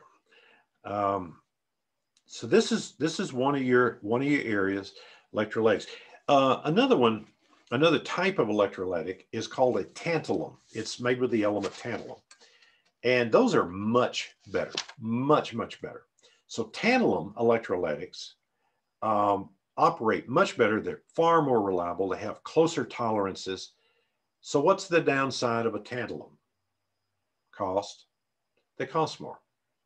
Now, my philosophy is I'm not, I don't make production stuff, you know, where you build in cheapness. So if I am building a piece of equipment, designing a piece of equipment for myself, like I'm doing my sub uh, systems over, uh, I, I usually pay for the better product because I know I'm not going to have a problem with it later, or at least have a good idea I'm not going to have something fail. So in my submarine redesign, I don't think I've got a single electrolytic capacitor. I don't even think I've got a tantalum in there anywhere. I try to avoid that if possible, but sometimes you have to. Okay. All right. Um, oh, let me let me show you this. I keep I didn't have good notes here, so I'm, I'm seeing this a little bit at a time. Let's look at the model for capacitor. Actually, there are numerous models. Now that's an ideal capacitor. You know, you could say, well, it's 10 microfarads. Okay. And it has, you'll see 50V up here, which means that you can operate it at 50 volts and you're okay. can you operate it at 25 volts? I remember as a, I was about 14 years old, 15 maybe, and I was learning electronics. I had an older friend who later on worked for me, and he's a good friend of mine. I've known him virtually all my life. And I said, Jim, I said, uh, this circuit calls for a 50 volt capacitor. Uh, I said, I got a 100 volt cap. I said, will that work? He said, yeah, you can go over the 50, but you can't go under the 50. So keep that in mind. Known that ever since I was 15. That was well, probably 30 years ago. And uh, anyway, uh, if you got a 50 volt capacitor and you're only going to use five volts, it's okay. But it's typically going to be larger. If the voltage rating is larger, it'll be more reliable because you're not getting anywhere near the maximum operating voltage. So the capacitor may be larger and more reliable, but it may be more expensive, probably will be. And it's totally okay to do that. Just don't go over the working voltage. As a matter of fact, I don't even like, I, I basically take a circuit, if it's 10 volts, I'll put at least, generally at least a uh, 20 volt working volt capacitor across it. Anyway, perfect capacitor will be able to withstand the 50 volts and the, it'll have 10 microfarads and there will be no resistance whatsoever in this mid region. So if I were to really say, let's say ask myself the question perhaps, what does this capacitor really look like? Well, a slightly more complex model of the capacitor might emerge that looks like this. So there's many models of the capacitor that include things like inductance, which we haven't talked about yet, uh, series, parallel resistance. There's also some series resistance in the model, but I just wanted to show you um, this sort of the standard look at something like an electrolytic would have a resistor here, and this resistor is oftentimes designated as RP. This would be the parallel resistance of that um, particular capacitor. Now, if this is a mica capacitor, mica has an incredible uh, resistance. It's almost infinity for the little bit of mica that they use. So the equivalent, this is not a real resistor, this is an equivalent resistance that is viewed, really it's resistance from plate to plate, but it's viewed as a model by putting the RP, the parallel resistance out here spanning across the capacitor's terminal. So RP here is going to be the effective parallel resistance of this. If it's mica, this is going to be way up into megohms or gigohms. If this is an electrolytic, you have an aluminum electrolytic, not a tantalum, but aluminum one. Uh, this is going to be way, way lower. You want this to be infinity because you don't want any current to be able to flow through the dielectric, but it does. And the current that flows through the dielectric or leaks around the dielectric in the capacitor is represented by this parallel value right here. And by the way, in something like an electrolytic capacitor, this value can vary drastically from one capacitor to another. I'm going to show you, I'm going to show you something. Let's suppose you say, I want to parallel capacitors. That's not a problem. You take electrolytes, just just parallel them and hook them all up top and bottom, you're good to go. Not a problem. But what if I say, hey, I want to series two capacitors. Oh, I've got batteries here. Duh. Not watching what I'm doing. Draw so many batteries. Let's put two capacitors here. And across those two capacitors, here's where my battery was meant to come in. Okay, so I've got a battery. Let's say I've got 10 volts on that battery. And here's C1 and here's C2. Okay. And these are, we could say these are identical capacitors. These are totally identical. So each one of these is a uh, 10 microfarads. Here's down here, you got 10 microfarads. Now you say, can I do that? Yeah, you can do it. But here's a problem. If you look at the parallel resistance of C2, it would be this. We'll call this RP2. And across C1, it's got its own parallel resistance. And let's call this RP1. Now, let's just say that, uh, you know, when they manufactured these, let's say that this is uh, 100K. That's fairly low number. With some capacitors have that lower resistance. And say this one over here is, uh, let's say this turns out to be 900K, just to make things work out. Of course, these are K ohms. Now, when you throw the switch and put this 10 volts across these two capacitors, the amount of current flowing into these capacitors are going to be way larger than the current in these two resistors. So it's going to initially behave as though these capacitors didn't have this resistance here. But here's the deal. When you leave the 10 volts on here, even though initially this capacitor will charge, remember Kirchhoff's law works with everything, including capacitors.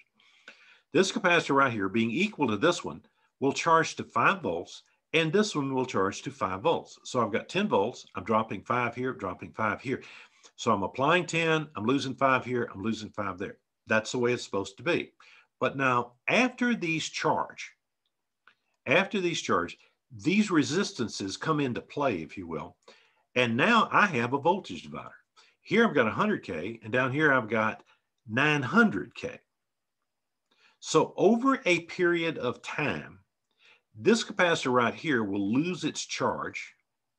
This capacitor will gain charge. And what will happen is the voltage across C1 will wind up, since you're applying 10, the voltage across C1 proportionally will be one volt the voltage across C2 will be nine volts. So I got nine volts and one volt. Well, that's equal to the 10. But what if these capacitors are rated at five volts each, and that's their maximum working voltage? This one's okay because it's got one volt across. You're good to go there. But this one's got nine volts across a five volt capacitor, and this one can blow. So the problem here is you can do this, but you have to be very, very cognizant of the fact that you do have equivalent parallel resistances here, and these parallel resistances wind up dividing. If this is on here for a long time, this will divide the voltage and the charge on the two capacitors. One will creep down and one will creep up unless these are the same value. And that's very, very difficult because they don't, they don't really nail this down for you when you buy the capacitor. It's really a, as they say, a crapshoot as to what you're going to get over here. It'll be within a range, but it could be something as drastic as that. This is a much better capacitor than that one because it has much higher parallel resistance. So be careful there. Okay. Um, let me show you, let me give you a problem. Um, let's suppose we take a battery. And with this battery, and once again, just to make things easy, we're going to use 10 volts. I'm going to change pencils here. Maybe I got a sharper one. Okay, so I got a 10 volt battery, and over here, I've got a, um, let's say this is a, um, let's say this is two microfarads, okay? And I've got another capacitor here, and we'll say that this one is eight microfarads. Okay.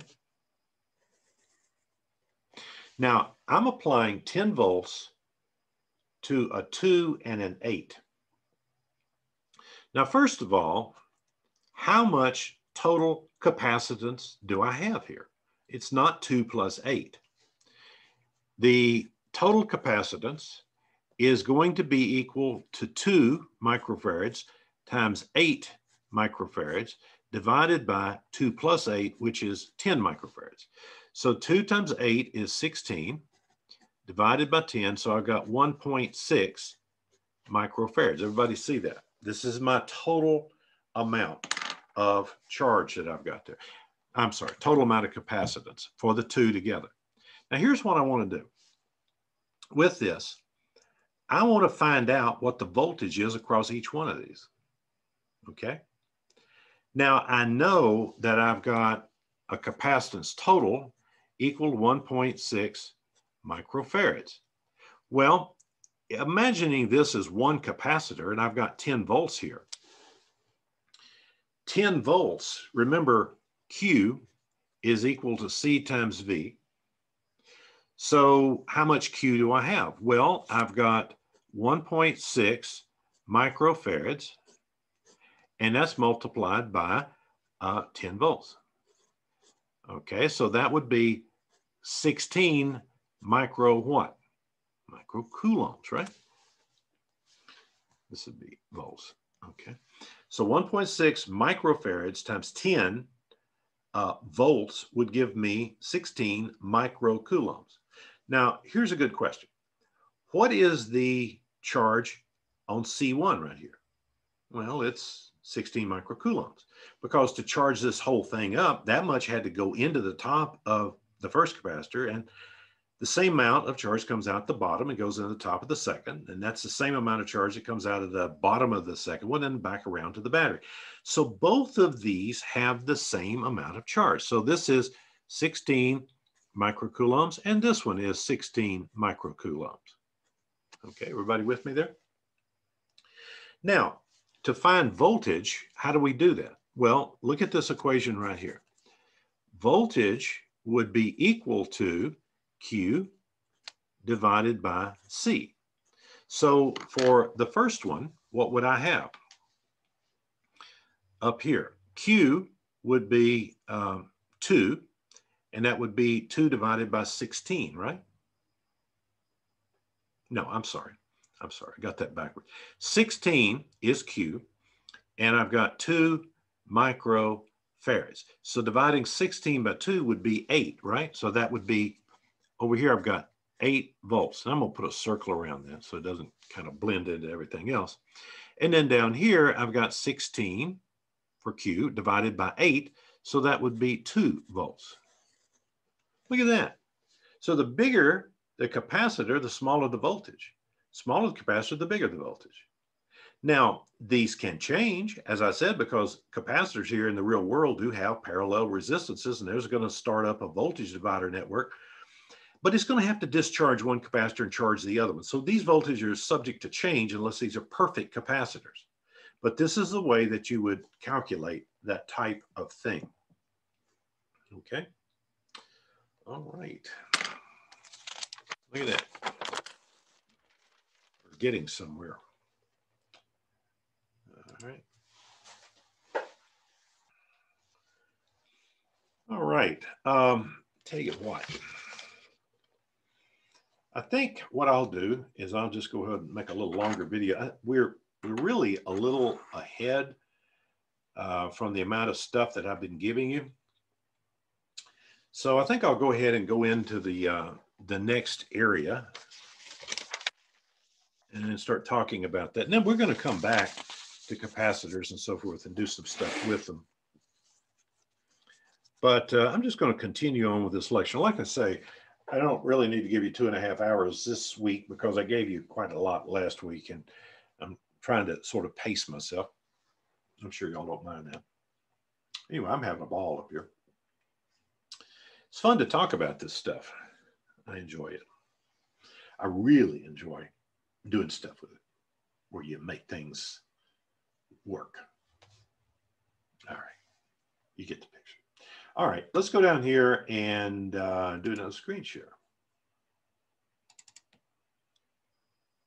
Okay, now this is something called an inductor. And the symbol for an inductor is a little squiggly, circly line. And uh, this really represents a coil, if you will. Like if I were to take this pencil and I wrap a wire around the pencil and it can be wrapped tight or it can be stretched out, either one, as long as the turns of wire don't touch the other turns. That, that kind of defeats the whole purpose. But anyway, this will allow current to circulate around in a loop. Now, whenever you have current moving through a wire, you actually have a magnetic field set up. And I got news for you. A magnetic field possesses energy. It possesses potential energy, just like an electric field possesses energy. So with an inductor, uh, an inductor is essentially a coil of wire that we're allowing the current to flow through. And because of the nature of the turns, this is actually called a solenoid, you wind up generating a magnetic field. Let me show you kind of what that looks like. I didn't do this, but let me show you this. If you have a loop of wire, like so, you send a current in here, we're talking conventional current. Okay, you use the right hand rule. You put your thumb, now I know my thumb is a little bigger than the diagram here, but you put your thumb in the direction of the current flow and your fingers represent the flux. So essentially you got flux going in here and coming out here, going into the board here and coming out here, going in here and coming out here, all the way around. So what you wind up with is flux is coming out of this coil, just like that. And it's going into the surrounding area this way. Okay. And you see that the direction of the flux inside of this uh, loop, the singular loop, is um, is coming at you. Okay, it's it's coming at you with the right hand rule. Okay, now what happens if we took that and we did this? We make a whole bunch of loops, like so. Well, you're taking one loop and then doing another and then doing another. And what you wind up doing is you're creating a magnetic field that circulates around this solenoid or coil to look like this. Now it extends all the way out into space, but we're just going to draw a little bit of it. So the field is down through here, it kind of ripples around in these coils, comes out the end and then circulates back around. These lines are all connected. These are magnetic lines of flux. It's a magnetic field. And this magnetic field here is present anytime there is a current in this coil. So you've got a current, you've got a magnetic field. Okay, now that stores electrical energy. And when you look at this, uh, you've got this symbol right here. And the property, the ability to store energy in that is related to the inductance, the inductance, and it's going to be in units of henries, named after a scientist. And the symbol that we use for inductance is L, capital L. Now, if you go back to this right here, uh, and I don't want to get too deep in this, this is just like general physics, but if you were to put an iron bar in here, something that's ferromagnetic, iron, steel, whatever, you put it in here, so you no longer have inside of this thing, you no longer have a uh, basically air or a vacuum, then you have increased what's called the permeability of the space in here. Now, we've been looking at epsilon naught as the permittivity of free space for capacitors. This would be uh, mu naught, and mu naught is the permeability, permittivity and permeability. This would be the permeability of free space. Now, if you put something in here the total permeability, let's say mu of the material itself, would be um, equal to, it could be equal to 120 times mu naught. So this is, you could call this the relative permeability, put an ER there, but it could be like 120 times larger than the uh, permeability of uh, free space. So if you have a certain amount of inductance and you put a piece of iron in here, especially if you looped it all the way around like a, um, kind of like a donut here and a donut over there, you'd wind up having a lot more inductance out of this thing, okay? Now, uh, there's a lot to say about this and I don't want to get into the physics of it too much, but uh, what I'm going to show you is if you have iron and say an enhanced permeability, then you would show it this way if it's um, if it's a powdered iron core, and there's a reason for that, you might have something like that. If the iron core cannot have eddy currents in it, but we'll get to that maybe later. All right, so these are all symbols for the in inductor. You can also have uh, you can also have this. You can have an arrow through here, which means it's a variable inductor. Now, um, Faraday's law, let me show you that first. Faraday's law says that there is a voltage, let's say E sub L, okay? And this E sub L is equal to the number of turns of wire that's wrapped around, let's say, a toroidal core. Let me, uh, let me draw you a, a core. This makes me think of policemen. You know, they like donuts. Okay. Anyway, it's a donut. And what we're going to do is we're going to take a coil. We're going to take our coil and we're going to wrap it around here, just like this.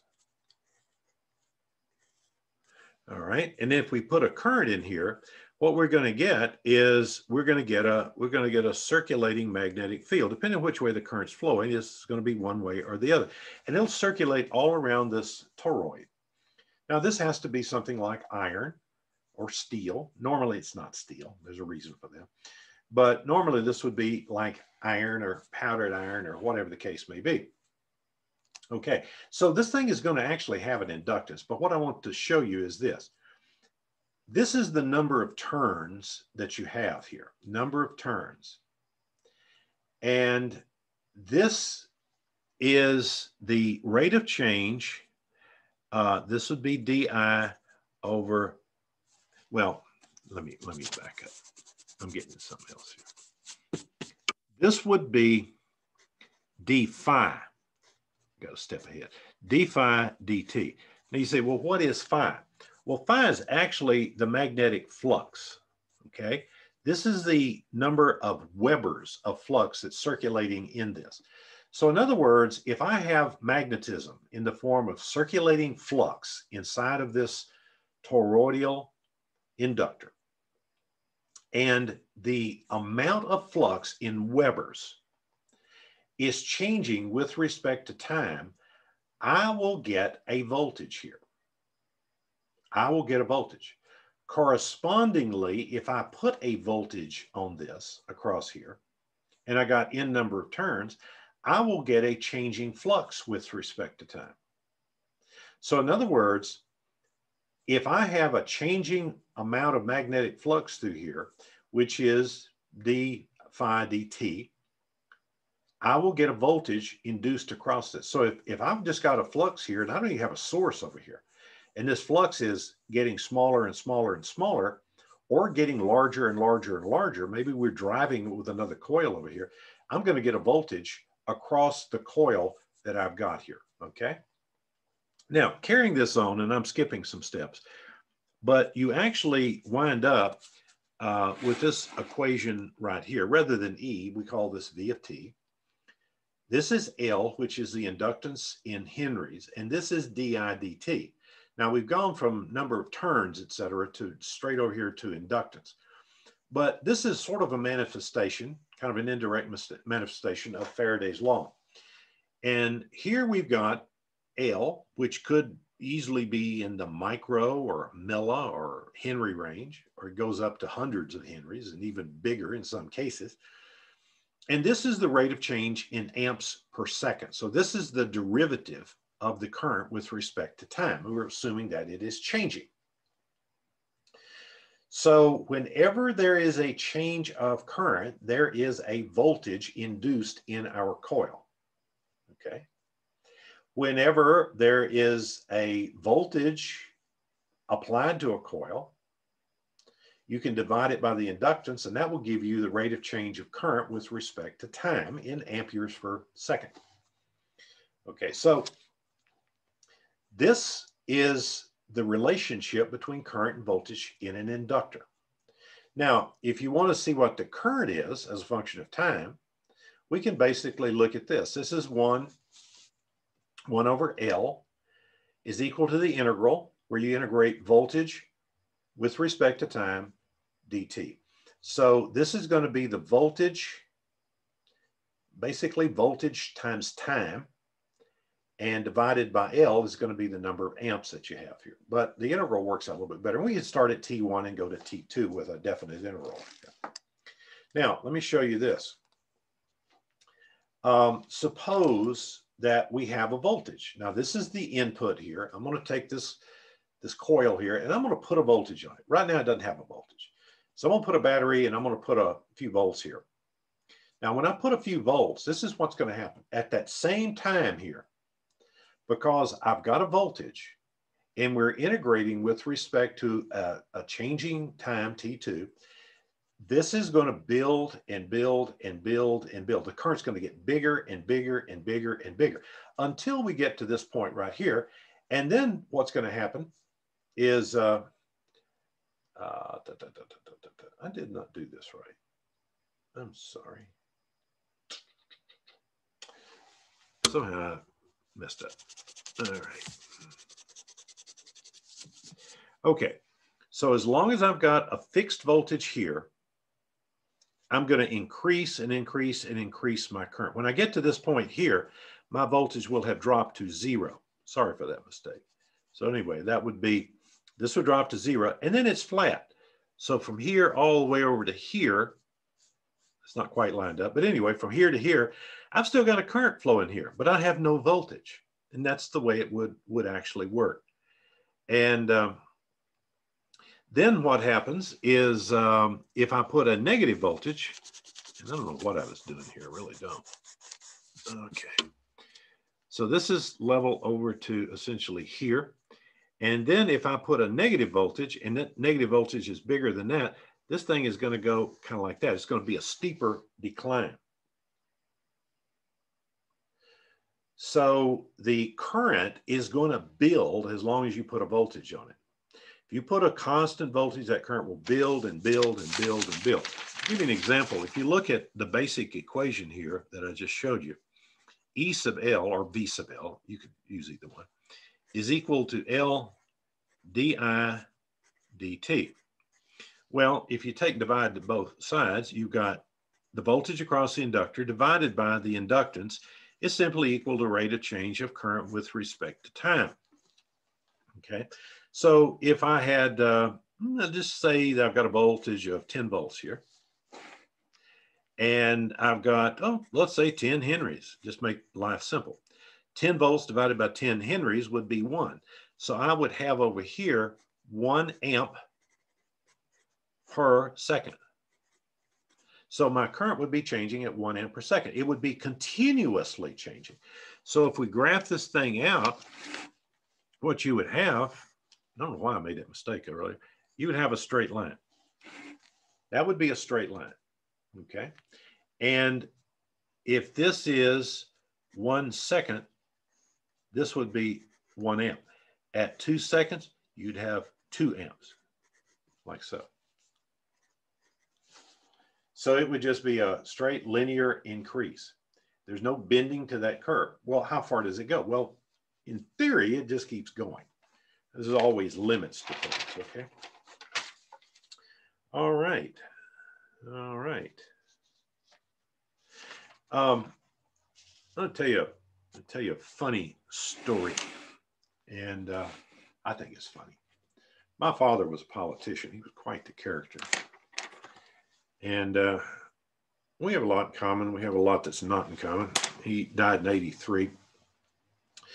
But uh, my father was at Christmas. I, I was too young to remember. That was one or two years old, but somebody bought him a book. Okay. And in this book, you know, it had a cover, you know, you could open it up. And the title of the book was The Illustrated History of the Nudist Colony in North America, or something to that effect. My mother couldn't tell the story without laughing. And anyway, he takes this book out, and it's probably got a couple of kind of suggestive pictures on the front cover. And he took the book, and just to be funny, he was going to kind of take a peek at it like this. And he kind of got his eye real close to it, and he had his finger on the little metal cover that went around the book.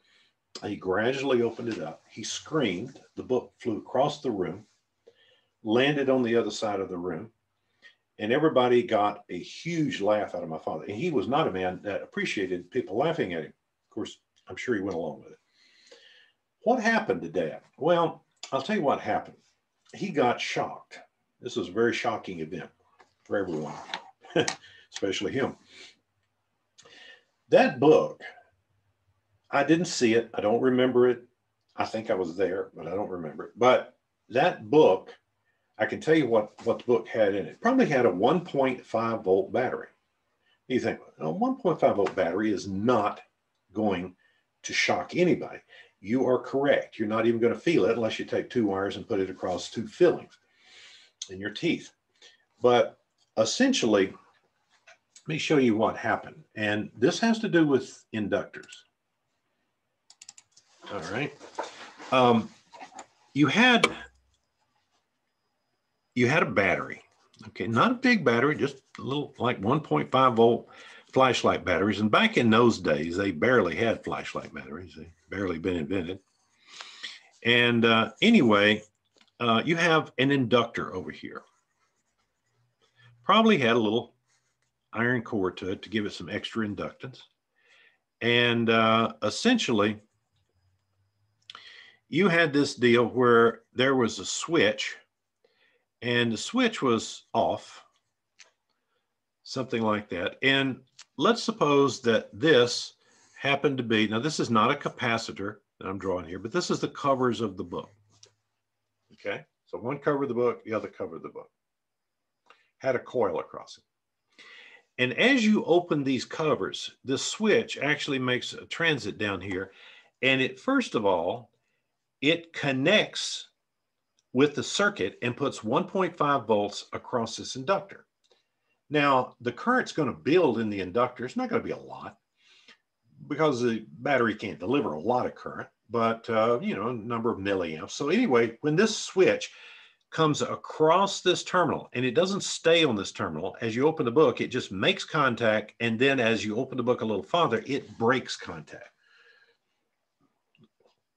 Well, while it's making contact here, the inductor gets energized. So the inductor has 1.5 volts. And I don't know how many milliamps. Let's just say, uh, um, let's say 100 mils, 100 milliamps flowing through the inductor just as that switch makes contact. But then it continues on to this position over here where it's an open circuit. So what do you have? Well, you've got um, you've got some energy stored in the inductor. Now, I haven't talked to you about energy the inductor. I have it on that other page, but that would be U sub L. And look at this. What an interesting equation. One half times the inductance in Henry's times the current squared. We see this over and over and over. So the energy in joules is equal to one half Li squared. And inductors, you can get a pretty good size inductor, unlike a capacitor, in a fairly small area. So anyway, he energizes this thing with 100 milliamps. And then all of a sudden, this thing is spring loaded up here. So as he opens the book a little bit more and opens it some more and opens it some more, it just goes snap.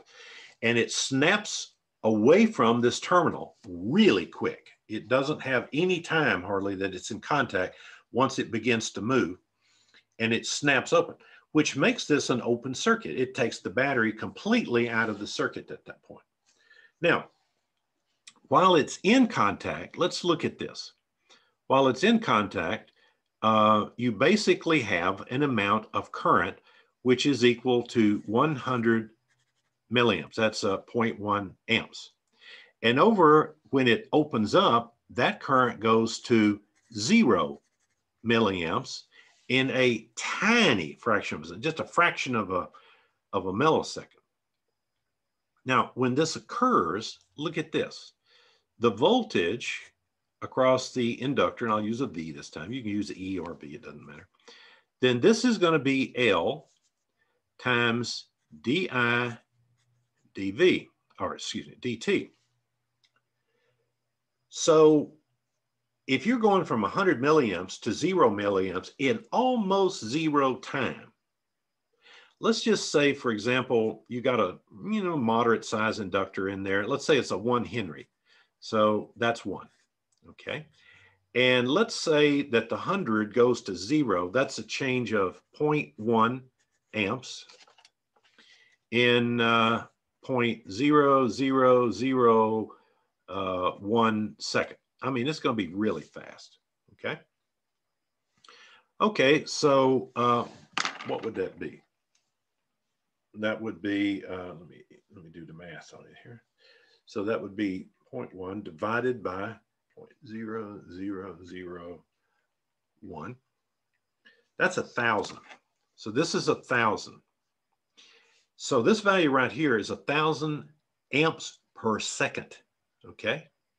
Thousand amps. I really need to do that. I was thinking that was a five when I looked at it. But anyway, thousand amps per second. And times one. Dad got a thousand volts out of that if these parameters were right. He sure acted like it. Anyway, what happens is here's one finger here, here's the other finger here. It goes through the body, not a thousand volts, but what happens is it it has enough voltage to push enough current through the human body to be extremely unpleasant. And that's what happened. They used to make stuff like this all the time. They, they don't do this anymore. Um, too much liability involved. Somebody could have a heart attack and then they'd be sued for everything they uh, ever earned. Uh, my father was a big prankster, though. He liked to pull practical jokes. He pulled some really bad ones on some of his colleagues, but uh, this one was on him. I do also remember he used to be, uh, he used to enjoy getting um, what they call loud loads, which were little, is like dynamite in something that looked like a miniature toothpick. And you stick that in a cigarette or a cigar, deep as you can get it, and they smoke for a while. And then when it burns down to that, the whole cigar or cigarette just explodes on the end. He didn't know it, but one night I decided to uh, load up one of his cigars and I was asleep on the sofa when it blew up. Anyway, I didn't get in trouble. It was kind of funny. Okay, so anyway, this is this is what you get here. What if you had something like um, what if you had like hundred henries, and you had a thousand amps, not a hundred milliamps, but a thousand amps? What happens when when you have current flowing here? Let me show you. Let me show you this. Um, let's suppose that um, let's suppose I have a battery and I have a resistor. Okay. And over here, I've got an inductor. Okay. And this battery supplies a current through the resistor. And uh, what's going to happen here is this current's going to build and build and build and build in the inductor. And there's no law that says that, you know, theoretical or otherwise, that I can't come in here and put a wire directly across here after there's a current in this inductor. Okay. And let's just say I've got 10 Henrys and 1,000 amps. Okay. Okay, that's a lot of current, by the way. But anyway, I've got 10 Henrys and 1,000 amps. And right now, when I do this, I can remove, I can actually remove all of this stuff. I don't need it. Get rid of it. Does my current go to zero? No, it doesn't. As long as there's no resistance in the wire around here, or there's no resistance, or I should say, and there's no resistance in the inductor itself, this current just keeps circulating. How much current do we have? Well, how much did we put in there initially? We had a thousand amps. Okay. How long will that circulate? Uh, theoretically, forever. It'll never quit. Do we use this? Actually, we do. Um, at LSU Shreveport, a number of years back, uh, there was a young, uh, let's see, he was, he was a um, physical chemist. Okay. He was physical chemist, and they gave him the job of taking care of the NMR, nuclear magnetic resonance machine that they use for looking at organic molecules. And his job was to make sure that the machine had plenty of liquid helium in it. Now, liquid helium is somewhere down, I'm not sure, it's two to four Kelvin. It's way down there, close to close to absolute zero. And uh, any event, um, when you get copper to that temperature, it becomes a superconductor. And when it gets to be a superconductor, there is no resistance. Let me say this again no resistance. The resistance of the wiring and, and so forth in the inductor and everything it connects that's at that temperature, as long as it's copper, it gets down to zero ohms. It's a quantum mechanical effect. I don't fully understand it. I wouldn't even try to explain it. But you do get superconductivity at that level. Now, um, an NMR requires a magnet of normally, I think, two to maybe 10 or 15 Teslas. That's a lot of magnet. And you can do it in other ways, but the best way to do it is to actually create a superconductive magnet.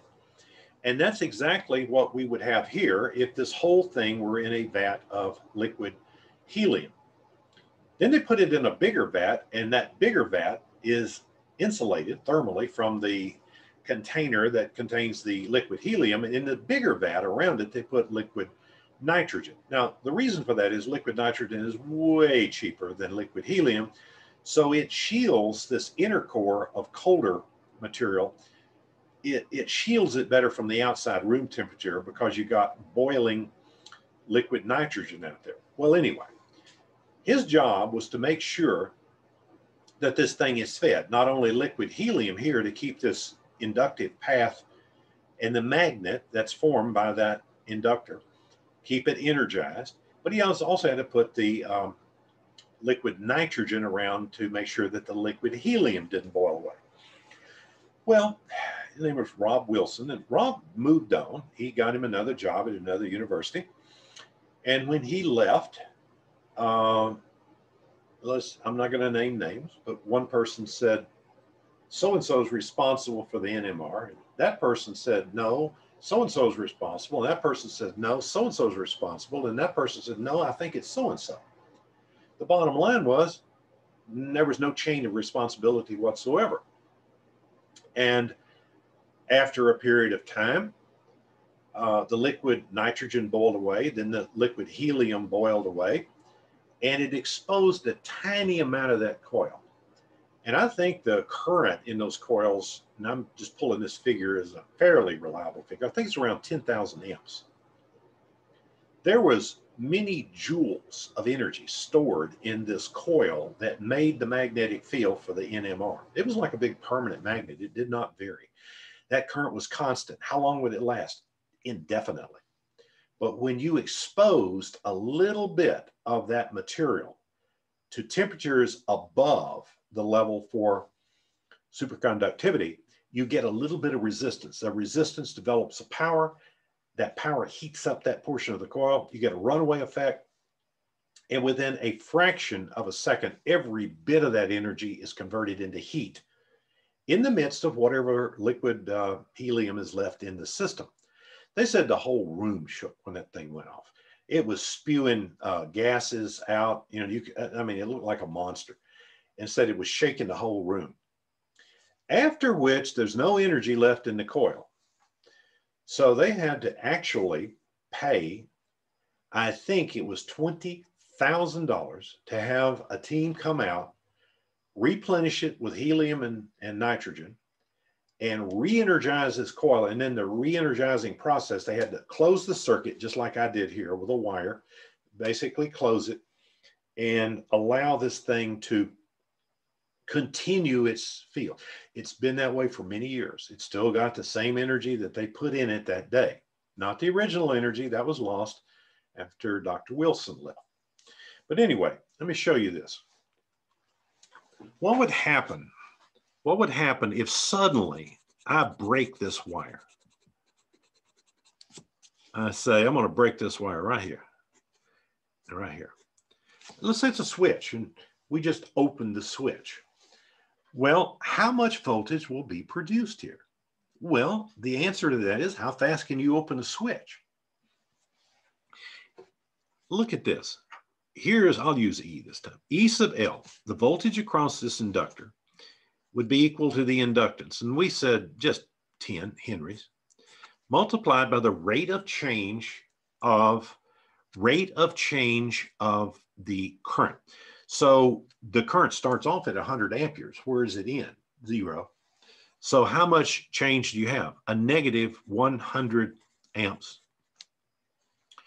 And say we did this in a millisecond, 0.001 second. 0.001 divided into a thousand is a million. Times 10 is 10 million volts. So this would be 10, 10 million volts across this. If you can open it 10 times faster, you will have a 100 million volts across the inductor. So what's happening is, you said, well, well, what actually happens when you open the switch? When you do, there will be a dramatic electrical arc between these two contacts because this cannot shut down immediately. And the inductor will furnish as much voltage as is necessary to push the current through. It's only going to slow down gradually. Now, mind you this, if you look at the voltage across this arc, there may be thousands of volts here. So with thousands of volts and a certain amount of inductance, you're going to have a certain rate that this current actually decreases at. It's not going to be just instant. So that will dictate, in other words, the voltage that's across the arc divided by the inductance would give you the actual number of amps per second that this is going to change. They have a lot of problems with this in industry where you have a lot of current flowing and all of a sudden you try to break that circuit. You got to have an arc interrupter to do that. I mean, you get an arc 10 feet long in some of these uh, systems. Um, generally not caused by inductance, but sometimes just breaking a super high tension circuit you create plasma, and the farther you pull the two contacts apart, the bigger the arc gets. That's not necessarily an inductive thing, but you do have trouble quench, uh, quenching arcs at times. So anyway, you can get a very, very large amount of voltage by a little bit of voltage, just energizing this to a certain amount of uh, current, and then suddenly opening up that circuit. I'm going to throw this out to you. I like to give you some extraneous information, as you probably figured out by now. Um, in electronics, and I've used one one time, but I know how they work. It's called a buck boost converter. And they're doing amazing things with uh, transistors now. These are those MOS, metal oxide semiconductor FETs, field effect transistors. What they do is this is a little bitty component. You can buy one for maybe a dollar or two. It's not, they're not terribly expensive maybe three or four dollars. And you apply a small inductor to it and some capacitors, and you attach it to voltage. Here's what happens. This thing has its own sort of low scale logic in it. And these transistors operate like switches, opening and closing. So you'll close a switch for a period of time and take a relatively low voltage, maybe a volt or two or three, and you will apply it to an inductor. And when the current in that inductor reaches some final value, that switch opens that's charging the inductor. And then the inductor says, I'm going to keep flowing that current regardless. So it brings the voltage way up to keep its current flowing. That's what it does. It has electrical inertia. And as that inductor, with that extension of Faraday's law, when it generates a tremendous amount of voltage, it's usually not tremendous, but it's it's a higher voltage. As that field is breaking down, that voltage goes over through a diode and then into a capacitor for storage, and you wind up with a much higher output voltage than you had on the input. And you do it with an inductor and an integrated circuit and a capacitor. It's called a buck boost converter. Uh, they use this in a lot of solar applications where you have solar panels and you'll take the current from the solar panel and you'll energize an inductor with it. And then suddenly you just open the inductor. Now, you're not allowing this to go to a thousand volts, okay, because that would damage something. But what happens is when it opens, it's that current that's coming through the inductor is forced around through another circuit where it's actually filling up a capacitor to a voltage that's higher than what you put into the circuit. You say, well, doesn't that break conservation of energy? You're increasing your voltage. No, because the current is decreasing. You're not getting a free ride here. You're not getting something for nothing. But what you are getting is you're getting a higher voltage at, at uh, lower current from a lower voltage at higher currents, kind of like a transformer. These things are cheap. They're very easy to use, and you can power a you know a fair cir- fair size circuit with it. I don't use them much because I don't need that. Most everything I've got has got plenty of supply that's attached to it. But these are things that you can do with an inductor. Okay. Now, uh, let me go back to my drawing. I hope y'all are not watching all this at one time. Uh, that could be really boring. Okay, let's do another screen share. Okay, now, what about inductors in series and inductors in parallel? Well, if, if you've got two inductors and uh, you put them in parallel, then essentially um, you're, you're lowering your inductance, okay? So if you put them in parallel, you're going to have to use this formula. This is the same thing for resistors in parallel, okay? So inductance is diminished here. Or you could say L1 times L2 divided by L1 plus L2. What if you put them in series? That's easy because think about it this way. If I've got an air core inductor that has 100 turns, it's got a certain inductance L1. If I put another 100 turns on it, that's like adding another L1. That would be L2 in this case. So now I've got L1 and L2. It's just like having a bigger coil. The bigger the coil, the longer that coil, the more inductance you have. So it makes sense uh, that the total inductance is L1 plus L2. In any combination of series, parallel, series, parallel, parallel, series, you just follow the same basic rules as you would for resistance. This works with resistance. The, the odd duck out is really capacitors. They, they behave uh, quite a bit differently. Here. But anyway, this is the basic rule that you have for that, for inductors. Okay. Now, there's a lot to know about this stuff. Probably figured that out. I'm about lectured out. But I thought I'd do this before that shot kicks in today. It makes me sick. I don't think it's going to. But uh, first one felt like I had the flu. I'll tell you, I, I feel very, very blessed that I have had two shots. You don't know. I still can't get out in public because I'm able to bring COVID perhaps back. Even if I don't get sick with it, I, they say that you can bring it back. The doctor say you can get sick and, or not get sick, but actually carry it back to another family member. And my wife has not had her shots. So she's still liking. And uh, her sister just barely lived over it. So anyway, I don't want to do that right now, but I'm getting there. Who knows? You might have, ever even get to see me one of these days, live and in person. All right. Well, that's what I'm going to do. And uh, by the way, if you will, let me know if you need some help, and maybe we'll have another help session on Thursday night. Uh, I don't know if that helped a lot of y'all. Uh, most of the time, I was able to answer the questions ahead of time with a little video but uh, maybe I'll do it that way. And if I don't do it that way, maybe we can meet on Thursday night if you want to. So anyway, that's the way it works. So let me know if you want to meet or need some help with problems. If you don't, then we won't do the thing on Thursday night. We'll just uh, see how much we got left and then uh, do maybe do a lecture on Thursday. I don't want to go too far over um, two and a half hours a week or too far under it. I will give you your money's worth. All right. Well, I can't think of anything else. So y'all be safe.